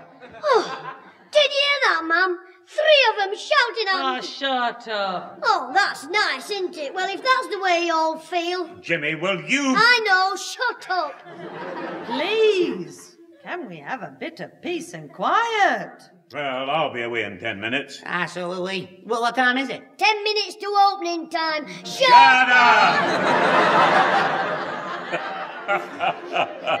oh, Jimmy, you're a wee scamp. Hey, uh, uh, talking about opening time, did you hear about the robbery last night? Oh, what robbery? At the pub? Oh, you heard? No. But yes, I mean.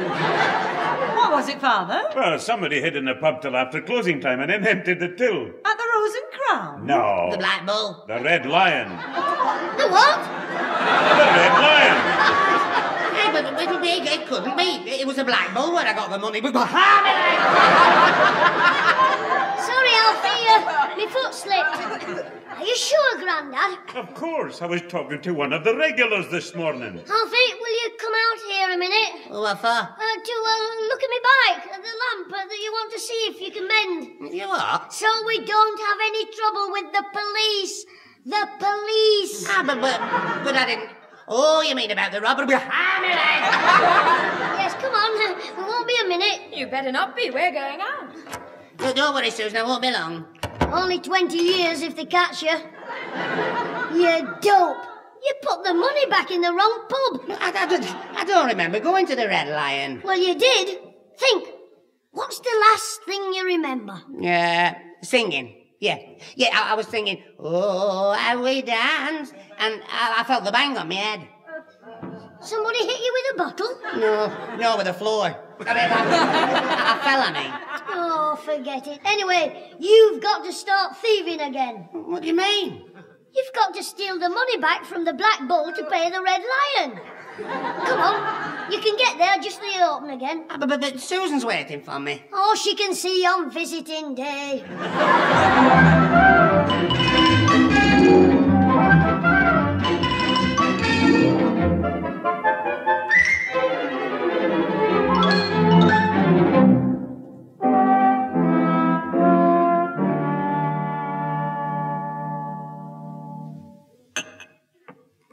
Uh, tomato juice, please. Oh, hello. It's you again, eh? Yes, sir.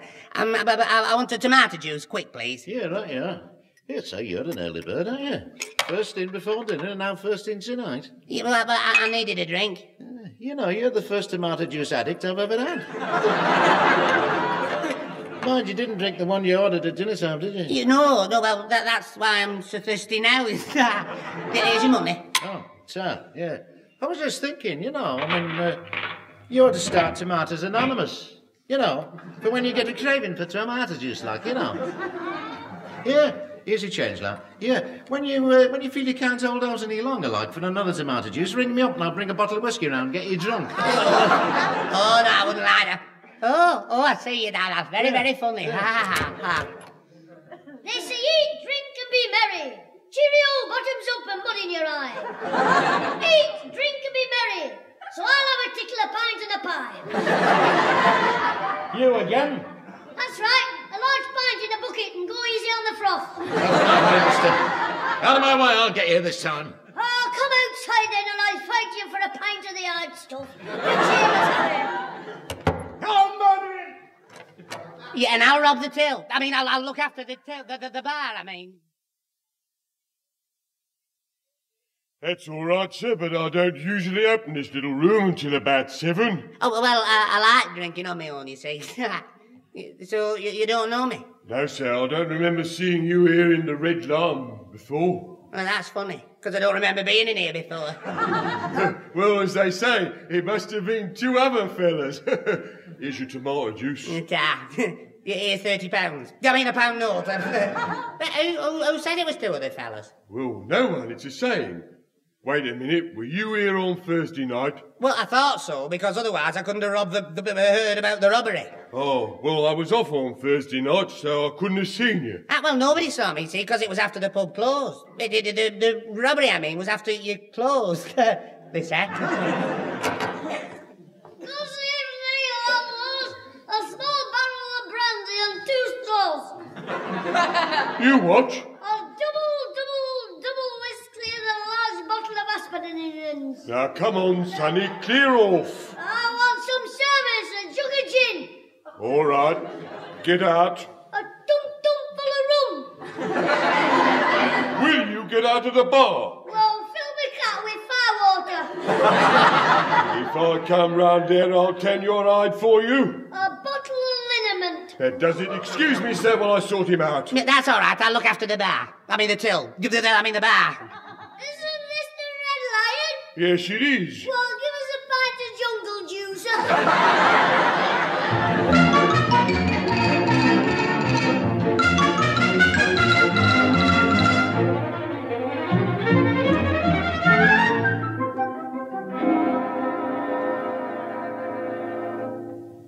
Well, I'm afraid Susan was annoyed, Alfie, so she's gone on on her own. Oh, I... It's your own fault, Alfie. You shouldn't have dashed out without telling her. Mum, I c- couldn't tell her where I was going. Why not? Because I was going to rob a pub. uh, See, see, see a pub. I was in a, in a pub. For a tomato juice. Oh, don't be. si- Did you say rob a pub? Yes, but not really. I mean, it, it was my money. Well, not mine, but I, I put it in the till after I stole it. No, not from there, from the Red Lion, not the Black Bull. Because I got drunk in the Black Bull and robbed the Red Lion on it. I don't remember, but I must have done because it was in my trousers.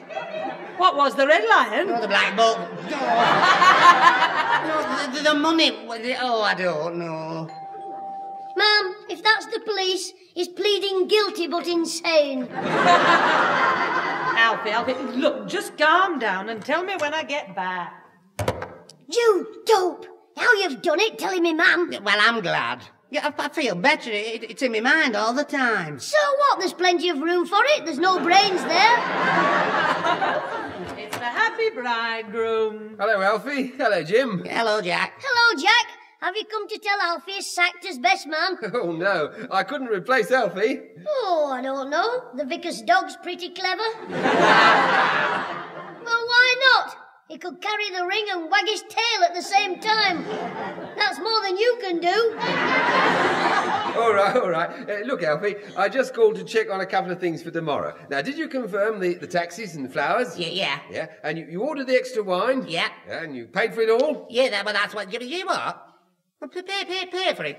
Did you want me to pay for it? Yeah, well, of course I did. Why do you think I gave you the £30 on Thursday night? What was that? You, you, you gave me thirty pounds. Well, you know I did. I mean, you mean it wasn't the pub p- p- pinched? I, I, I didn't stick.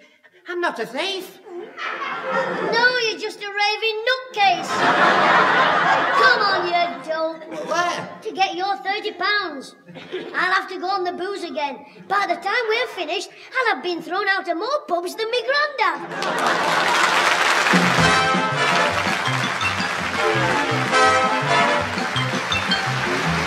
Those involved with the Clitheroe Kid this week were Peter Sinclair as grandfather, Patricia Burke as mother, Danny Ross as Alfie Hall, and Diana Day as Susan, with Deryck Guyler, Jack Watson, and David Richardson. The recorded program was written by James Casey and Frank Roscoe, produced by James Casey, and starred Jimmy Clitheroe as the kid himself.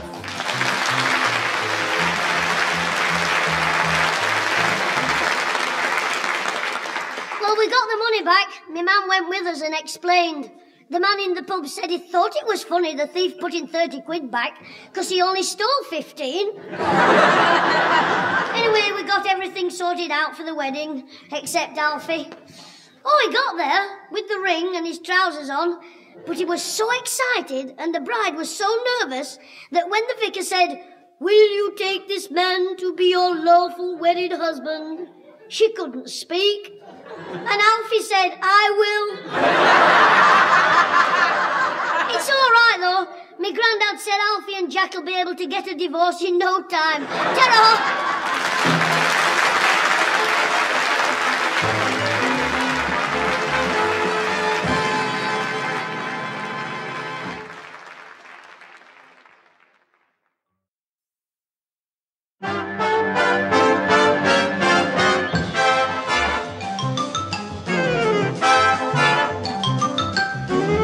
We present Jimmy Clitheroe as the Clitheroe Kid with Peter Sinclair, Patricia Burke, Danny Ross, and Diana Day in Another mother for Ozzie.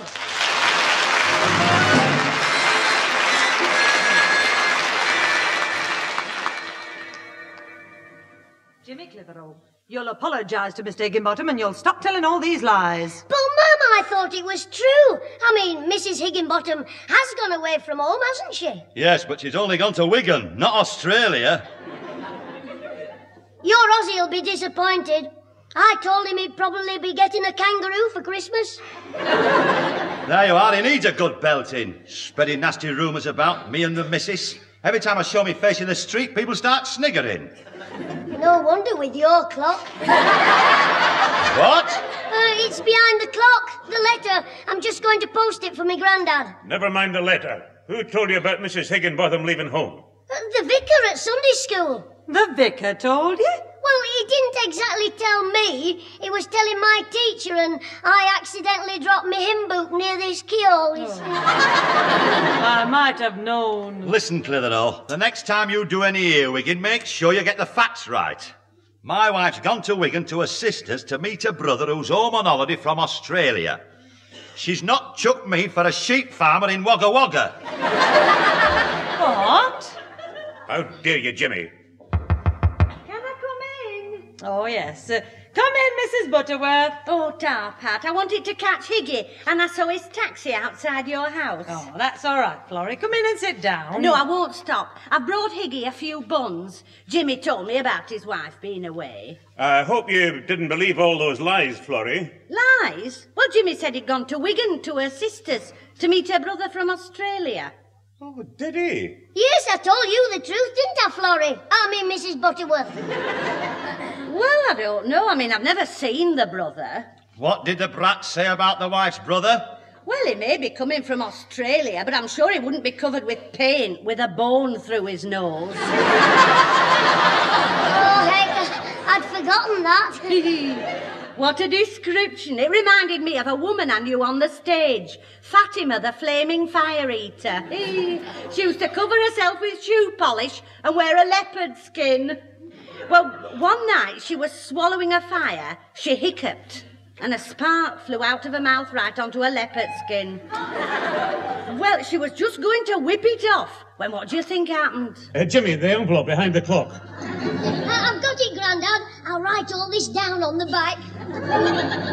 Oh, it was a scream. Well, if they hadn't sprayed her with that fire extinguisher, she'd have been arresting for moving while. Jimmy, um, it's uh, uh, time to go and post that letter. What? I missed the last bit of the joke?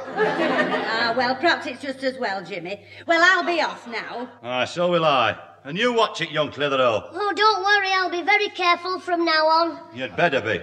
From now on, if you put a foot wrong, I'll cut it off. I'll see that it doesn't cause any more trouble. Aye, and I'll see you in the Rose and Crown tonight, Higgy. Well, come on, Iggy. I want a word with you in private. Ta-ta, everybody. Ta-ra, Mrs. Butterworth. Nice to have seen you again, Mr. Higginbottom. Belt up. Come on, missus. Now then, what is it, Mrs. Butterworth? Oh, Florrie to you.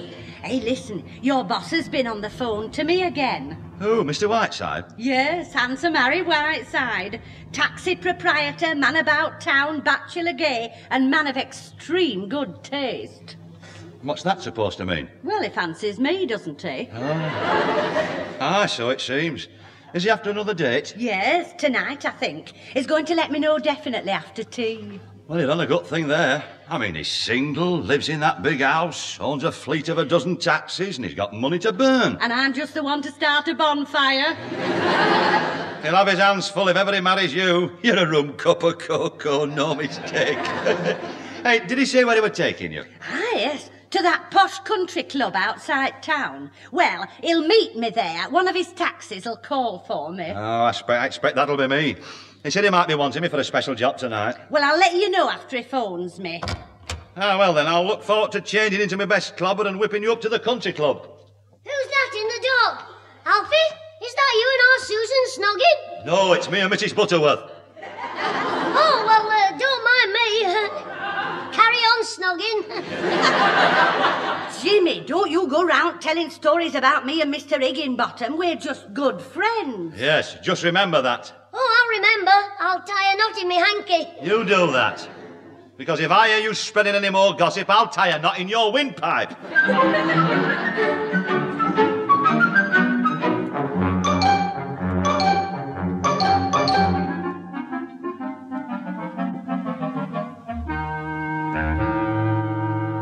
Jimmy Clitheroe, would you mind telling me why I'm standing here cold and wet outside Higginbottom's back door? That's easy. We didn't get any answer at the front door.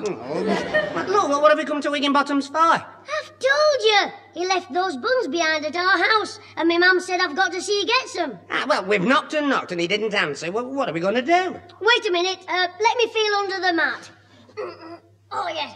Here it is. Mm, What's that, a key? Yeah, I remember Ozzie telling me when Mr. Higginbottom goes to the pub and he's late back, his wife leaves this key under the mat. You, mean for Mr. Higginbottom? No, for the dustman who fetches him home on his cart. hey, hey, that's a good one. Old Iggy coming home from the pub on the dust cart. yes, with all the other rubbish. oh, look, I, I can't reach the lock.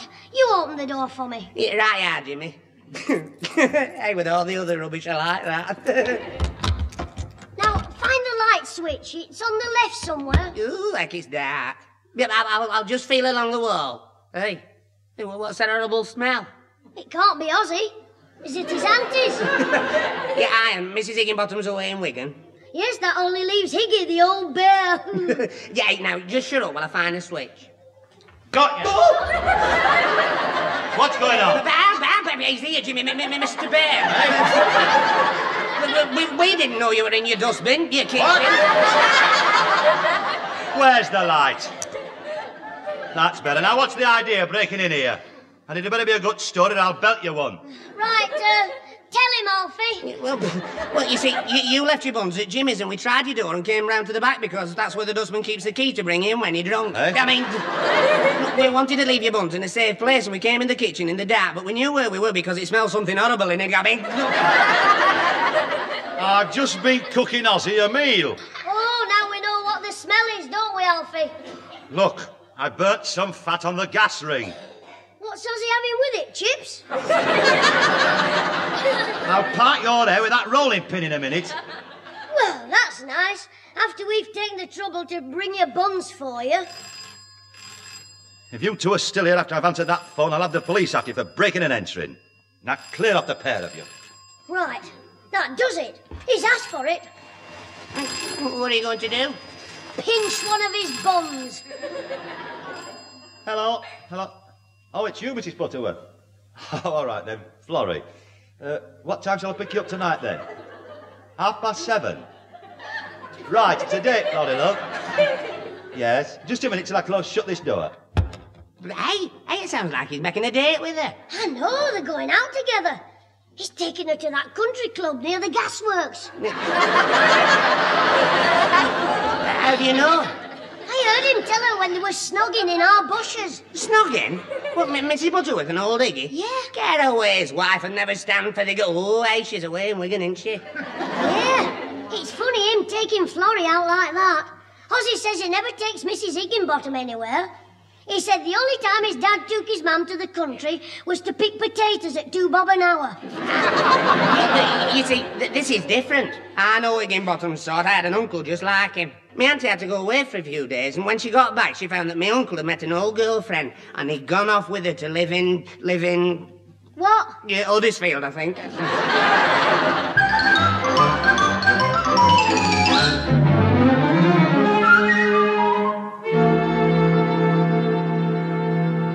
Well, Alfie, now we've tidied up the front room, what shall we do next? I mean about the tennis club annual meeting. You did say it was tomorrow night. well, that's what the chairman told me on Friday. Give us a kiss. Look, I'm club secretary and I've got to get everything ready. Where did I put those minutes? Oh, never mind those minutes. Just give me a few minutes. Stop it, will you? Sorry to disturb you two, but I've come for the rent. what, rent? what are you talking about? Well, me grandad has let you have this room for five bob an hour to snog in, hasn't he? Oh, get out, will you? Get out! You know, miss, you not only look like my sister Susan, but you've got a rotten temper like her as well. What are you talking about? She is your sister. And you, sir, you're the living image of my sister's daft boyfriend, Alfie Hall. I am a daft boyfriend, you twit. I mean, she's Susan and I'm me. Yeah, Alfie. We're not somebody else. But you can't be Susan and Alfie because right now Susan and Alfie are at a tennis club meeting. The meeting isn't until tomorrow. Are you sure? Yeah, it's tomorrow, Wednesday. So will you just clear out and. Alfie! What? Today's Wednesday. Is it? Well, fancy that, 'cause that's the day they're having the tennis club club. That's what you want, a club round your nut. Oh, ex Susan, I'm sorry. We should have been there at seven. It's ten past now. I'm going upstairs to get ready. You're right, Susan. Oh, she's mad at me again. Well, never mind, Alfie. Come in the living room. We'll play a, a good game I've just thought of. What's that? Well, you hide half a crown in my trouser pocket, and if I find it, it's mine. Well, it's nice of you to lend me this handbag, Pat. It'll just go right with my costume. Oh, not at all, Florrie. I must say, you look very smart. Oh, he'll fall for you, whoever he is. Ah, it must be a heavy date, all right. Can we be expecting to hear wedding bells soon, Florrie? Perhaps, if I don't drop a clanger. oh, hello, Jimmy. Hello, Mrs. Butterworth. Hey, you look smart. For a minute, I thought it was that lady we were watching on your telly last night. Uh, The one all dressed up. Oh, you mean Katie Boyle? No, uh, Mrs. Shufflewick. Well, I fell for that, all right. Oh, and how are you, Mr. Hall? Oh, I'm all right, Lady Shufflewick. Olive oil. Mrs. Boyle. Katie, Butty, bu- bu- Butty, Bitty, Butterworth. Is something the matter with him, Jimmy? Yes, in the doghouse with our Susan. So if your boyfriend lets you down tonight, I think Alfie might be going spare. No. I don't think there's much danger of me being jilted. Well, he seems to think the world of me, strange though it may seem. well, I must be off. Thanks again, Pat. I'll let myself out. Bye bye, Florrie. Have a nice evening. Enjoy yourself. I will. Cheerio. Ta-ra, Duchess! Well, what about that? I've never seen her dressed up to the nines like that before. You're right, Pat. Whoever this fellow is, he's certainly made an impression on Florrie, all right. I wonder who he is. Do you know? It's Mr. Higginbottom. Mr. Hick. Now, Jimmy, you've been warned about telling lies about Ozzie's father. It's true, Mum. We heard him fixing a date for tonight with her, didn't we, Alfie? Yeah? You, you what, Jimmy? Isn't Mr. Higginbottom picking Florrie Butterworth up at half past seven and taking her to the country club? Oh, yeah, it's terrible. While the cat's away, the big rat's playing about with Mrs. Bury with her. Now, don't start thinking the worst before you're sure. If people don't look for scandal, they won't see any. I believe in minding my own business.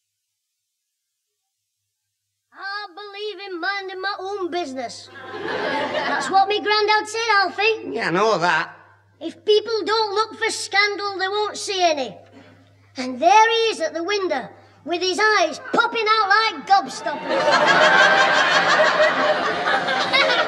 What was that, Jimmy? I, I said uh, I think I'll pop out for some gobstoppers.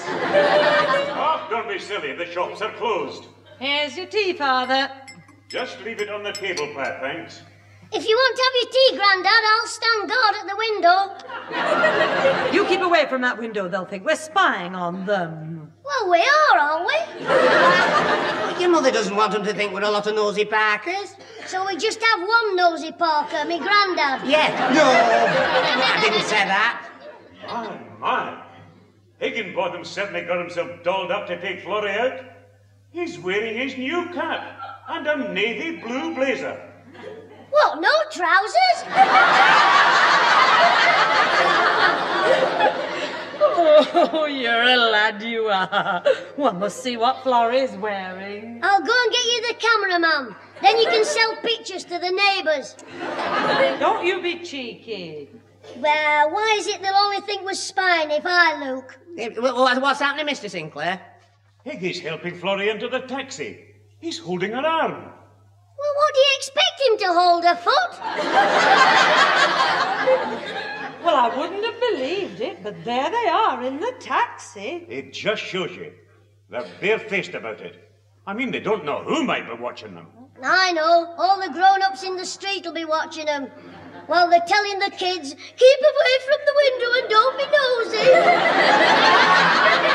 All right, all right, funny boy.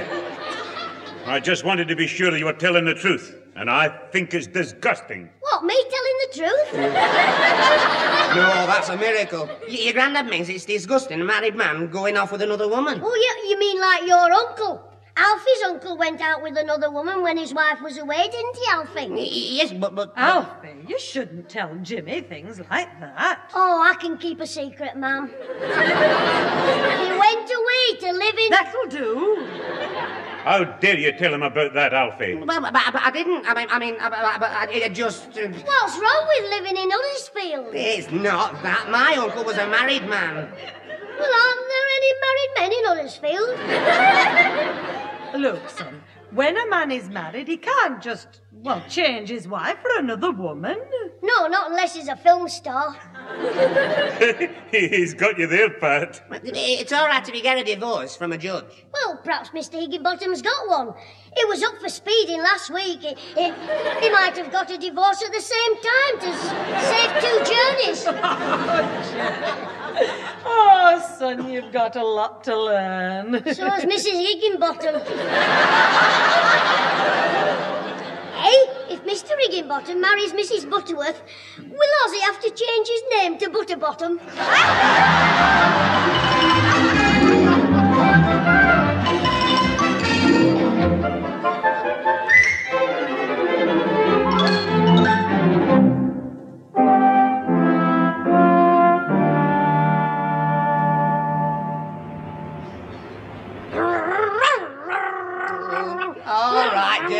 Jim, stop shaking. He'll have me back off its stand. And now we proudly present Tunup Clitheroe, the world's champion wall of death rider. Oh, look, stop turning the handlebars about. I'm trying to tighten a knot. Ooh, eh, what a sight, a spanner with a loose nut at both ends. hey, Alfie, when the fair was here, the wall of death rider had a monkey on the pillion. So what? Well, how about you teaming up with me? Oh, shut up. Hey, here comes Florrie Butterworth, Higginbottom's dream girl. Although with her curlers in, she looks more like a nightmare. Hello there, you two. Hey, what have you been doing with your motorbike, Alfie? Mending it? No, milking it. Oh, you are cheeky. Mrs. Butterworth, when you get married, remember I like wedding cake and I'm very good at parties. I know lots of games. Oh, yes, like, like at my birthday. Fireman's knock. Every time he opened the door, he squirted you with his water pistol. Now you're jumping the gun. I'm not even engaged yet. Anyway, I can't stop here chatting. I came to see your mother. I'll go round the back. But uh, if we do decide to name the day, you're all invited to a party. When Mrs. Higginbottom finds out what's going on, they won't be hearing wedding bells, it'll be the funeral march. hey, I wouldn't like to be Mrs. Butterworth. I should think not. The vicar would have a right laugh. Marrying you and Higginbottom. hey, talking about laughing, Our Susan's face has just come round the corner. Oh, has it? Get- Now, shut up, you. Th- There's nothing funny about Susan's face, and don't you forget it. I wish I could forget it. It haunts me. I've warned you, you'll get a clout. Hello, what's the trouble with my cheeky brother now? Nothing. Alfie was just talking about you. Yeah, but, but well, I mean, not talking about you, just just talking. Yeah, about your face. That's right. He said it's no joke having a face like yours. Exactly. No, I didn't. Look, I, I said it wasn't funny. Having a face like hers. Yes, no. He's twisting me words, Susan. I know. He wants his neck twisting. Anyway, ignore him, Alfie. Was that Mrs. Butterworth going round the back? Yes, she's going to see your mother. I don't know how she dares show her face the way people are talking. Well, you show yours, and Alfie talks about. Yeah, now, shut up. Uh, Who's talking about it, Susan? Well, only five minutes ago, Mrs. Billington was on about her. Beaky Billington? Oh, she can talk with her nose. You can't see her face for the shadow from a hooter. Oh, keep quiet. She wasn't talking about Mrs. Butterworth's face. It was about her going out with Mr. Higginbottom. Mrs. Billington saw them coming out of the country club the other night with their arms around each other, all lovey-dovey. Well, of course, it'll be all round the town now. Oh, you're not kidding. Here is the nine o'clock scandal, and this is Parrot Conk spreading it. Yeah, you've got something there. Don't laugh, Alfie. He thinks he's funny enough. Anyway, I'd better get in the house and have a wash. Right, on, Mucky neck, Nectar, off. Look, oh, cut it out. I'll come in as soon as I fix this nut. Try hitting him with a hammer. See you later. Oh, very good. Alfie, you've got one there. She's a witty little. Mm, a witty little what? I'm not sure. I, I think she's a girl. No. Look, why don't you keep quiet? If I had done, Scragging Neck wouldn't have had any news to tell you. Beaky Billington didn't even know it was Mr. Higginbottom with Florrie Butterworth. It was too dark to see. Mm. How did she find out? I told her.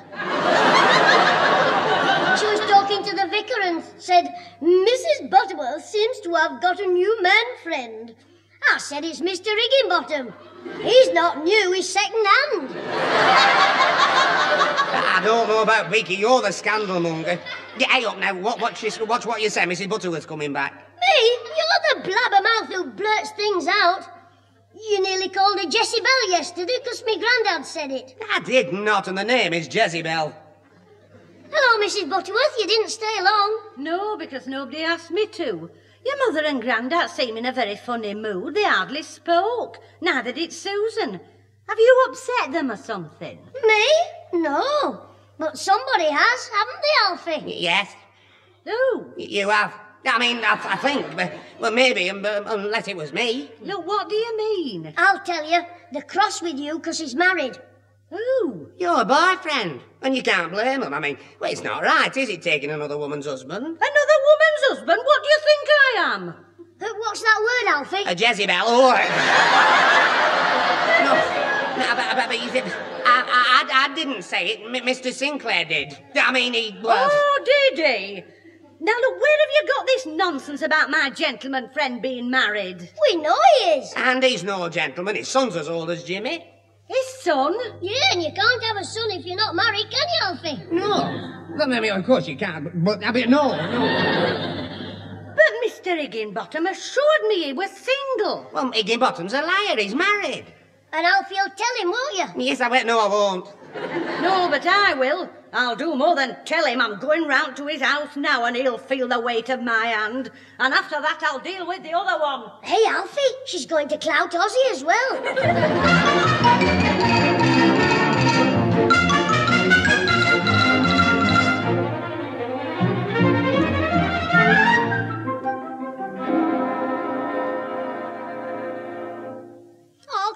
on, Grandad. You're a pal of Higginbottom's. You could take us round to see the fight. I'm no friend of that woman chaser anymore.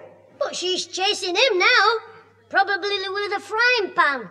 Look, you're not going anywhere near that man's house. But anyway, she'll have knocked him out by now. I mean, the way she looked when she dashed off. Well, we, we might get there in time to see a clout Ozzie. Look, nobody's taking you because nobody wants to see a fight. Only a savage would stand and watch somebody being hurt. Mother, it's Mrs. Butterworth and Mr. Higginbottom. Never mind the introductions. Let me get my hands on him. There you are, you little brat. Alfie, Mr. Higginbottom wants you. What do you want? Shut up, stupid. You little troublemaker, come here. Take your hands off him, Higginbottom. What's the idea of bursting in like this? Now calm yourself, Higgy. Calm down. I'm sorry, missus, but I warned this, this, this, this son of yours about spreading lies about me. All right, uh, please explain what all this is about, but quietly. Well, Jimmy told me that my gentleman friend was married. So. So he is. I know Mr. Higginbottom's married. Ozzie told me. How does Ozzie know? Was he at the wedding? Oh, I mean, uh, why, why, why should he tell you? Well, it's not a secret, is it? They've been married years. Before Ozzie was even born. Florrie, will you explain? Well, I've been going out with Mr. Higginbottom's boss. And you're Jimmy and Alfie. His boss? But he took you to the country club. Yeah, well, we heard you making the date. I took her to meet my boss. But according to Ozzie and Mrs. Billington and the vicar, I've been carrying on with Florrie here. And that brat told them. And I'm going to belt the living daylights out of him. Help! Get him off! No, no, no, stop it, Mr. Higginbottom. Yes, if there's any punishing to do, I'll do it. Well, start with Alfie and then hit yourself. You said she was a disgrace when you two were spying on them from the window. Oh, so you've all been at it, have you? Really, Peter, and you, Pat. Now, just a minute. Well, we, we understood that, uh, well, that. Uh, We heard that you'd made a date, so naturally we, we, well, when we happened to see you getting into his taxi. Happened to see them. Shut up. Yes, we just presumed it was true. Yeah, and, and that's what I did. D- Presumed, I mean, not Luke, because I, mean, I didn't want to be a nosy Parker because we had one. I mean, Look, we made a dreadful mistake and we're very sorry. Yes, we're very sorry. Well, now they said they're sorry, let's all forget it and have a cup of tea. Not on your life. Oh, I shouldn't have said tea. You have a brown ale. Look, none of this would have started but for little scandalmonger here. That's where the suspicions came from. Now, Iggy, they've all made mistakes and they've apologised, so let's forget it. Well, I'm willing to forget it for one. He hasn't apologised yet. Hiya, jollipies, hiya, jollipies, hiya, jollipies. yeah, yeah, you see, he's a jolliper, a pillager, a jolly, jolly, oh, oh, He said he's sorry, and so am I. Mr. Higginbottom, you're wanted on the phone. Me? All right. I wonder who wants me. It's probably the zoo. That'll do. You just think yourself lucky that you got away with this. Yes, my lad. And I hope you'll learn to keep your mouth shut in the future. Yeah, and I'll keep my ears shut when he talks to me. It'll still go in through the hole in your head. Oh, Jimmy, you're incorrigible. That does it. That's the last straw that breaks the camel's back. Hello, he's got the hump again. What is it now? That was the wife. She's come home with her brother. And she's waiting for me with a rolling pin. And he's got his Australian boomerang. What for? To clobber me. Because Ozzie wrote and said I was getting a divorce and marrying Florrie. Well, fancy that. Yes. And guess who told him to write? you! Help! Grandad, you don't Come here. to see a fight. I'll have your guts for garters. Come here. I'll tear your live from. He's gone. But I'll catch him sometime. If me granddad's going to the fish shop, I'll have a two fish cakes and six penneth. Keep it in the oven till I get back.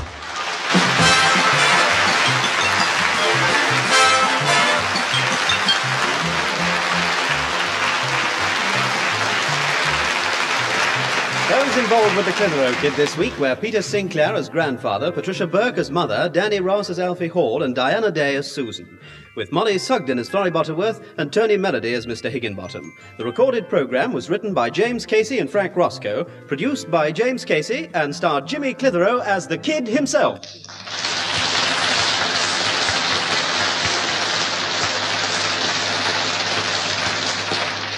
Oh, what a night. I hung about for two hours. My fish cakes were dried up to nothing by the time Wild Bill Higginbottom left. It just shows how mad he was. He didn't leave our house till the pub had been open for an hour. Grandad said another ten minutes and the landlord would have sent out a search party. Ta-ra!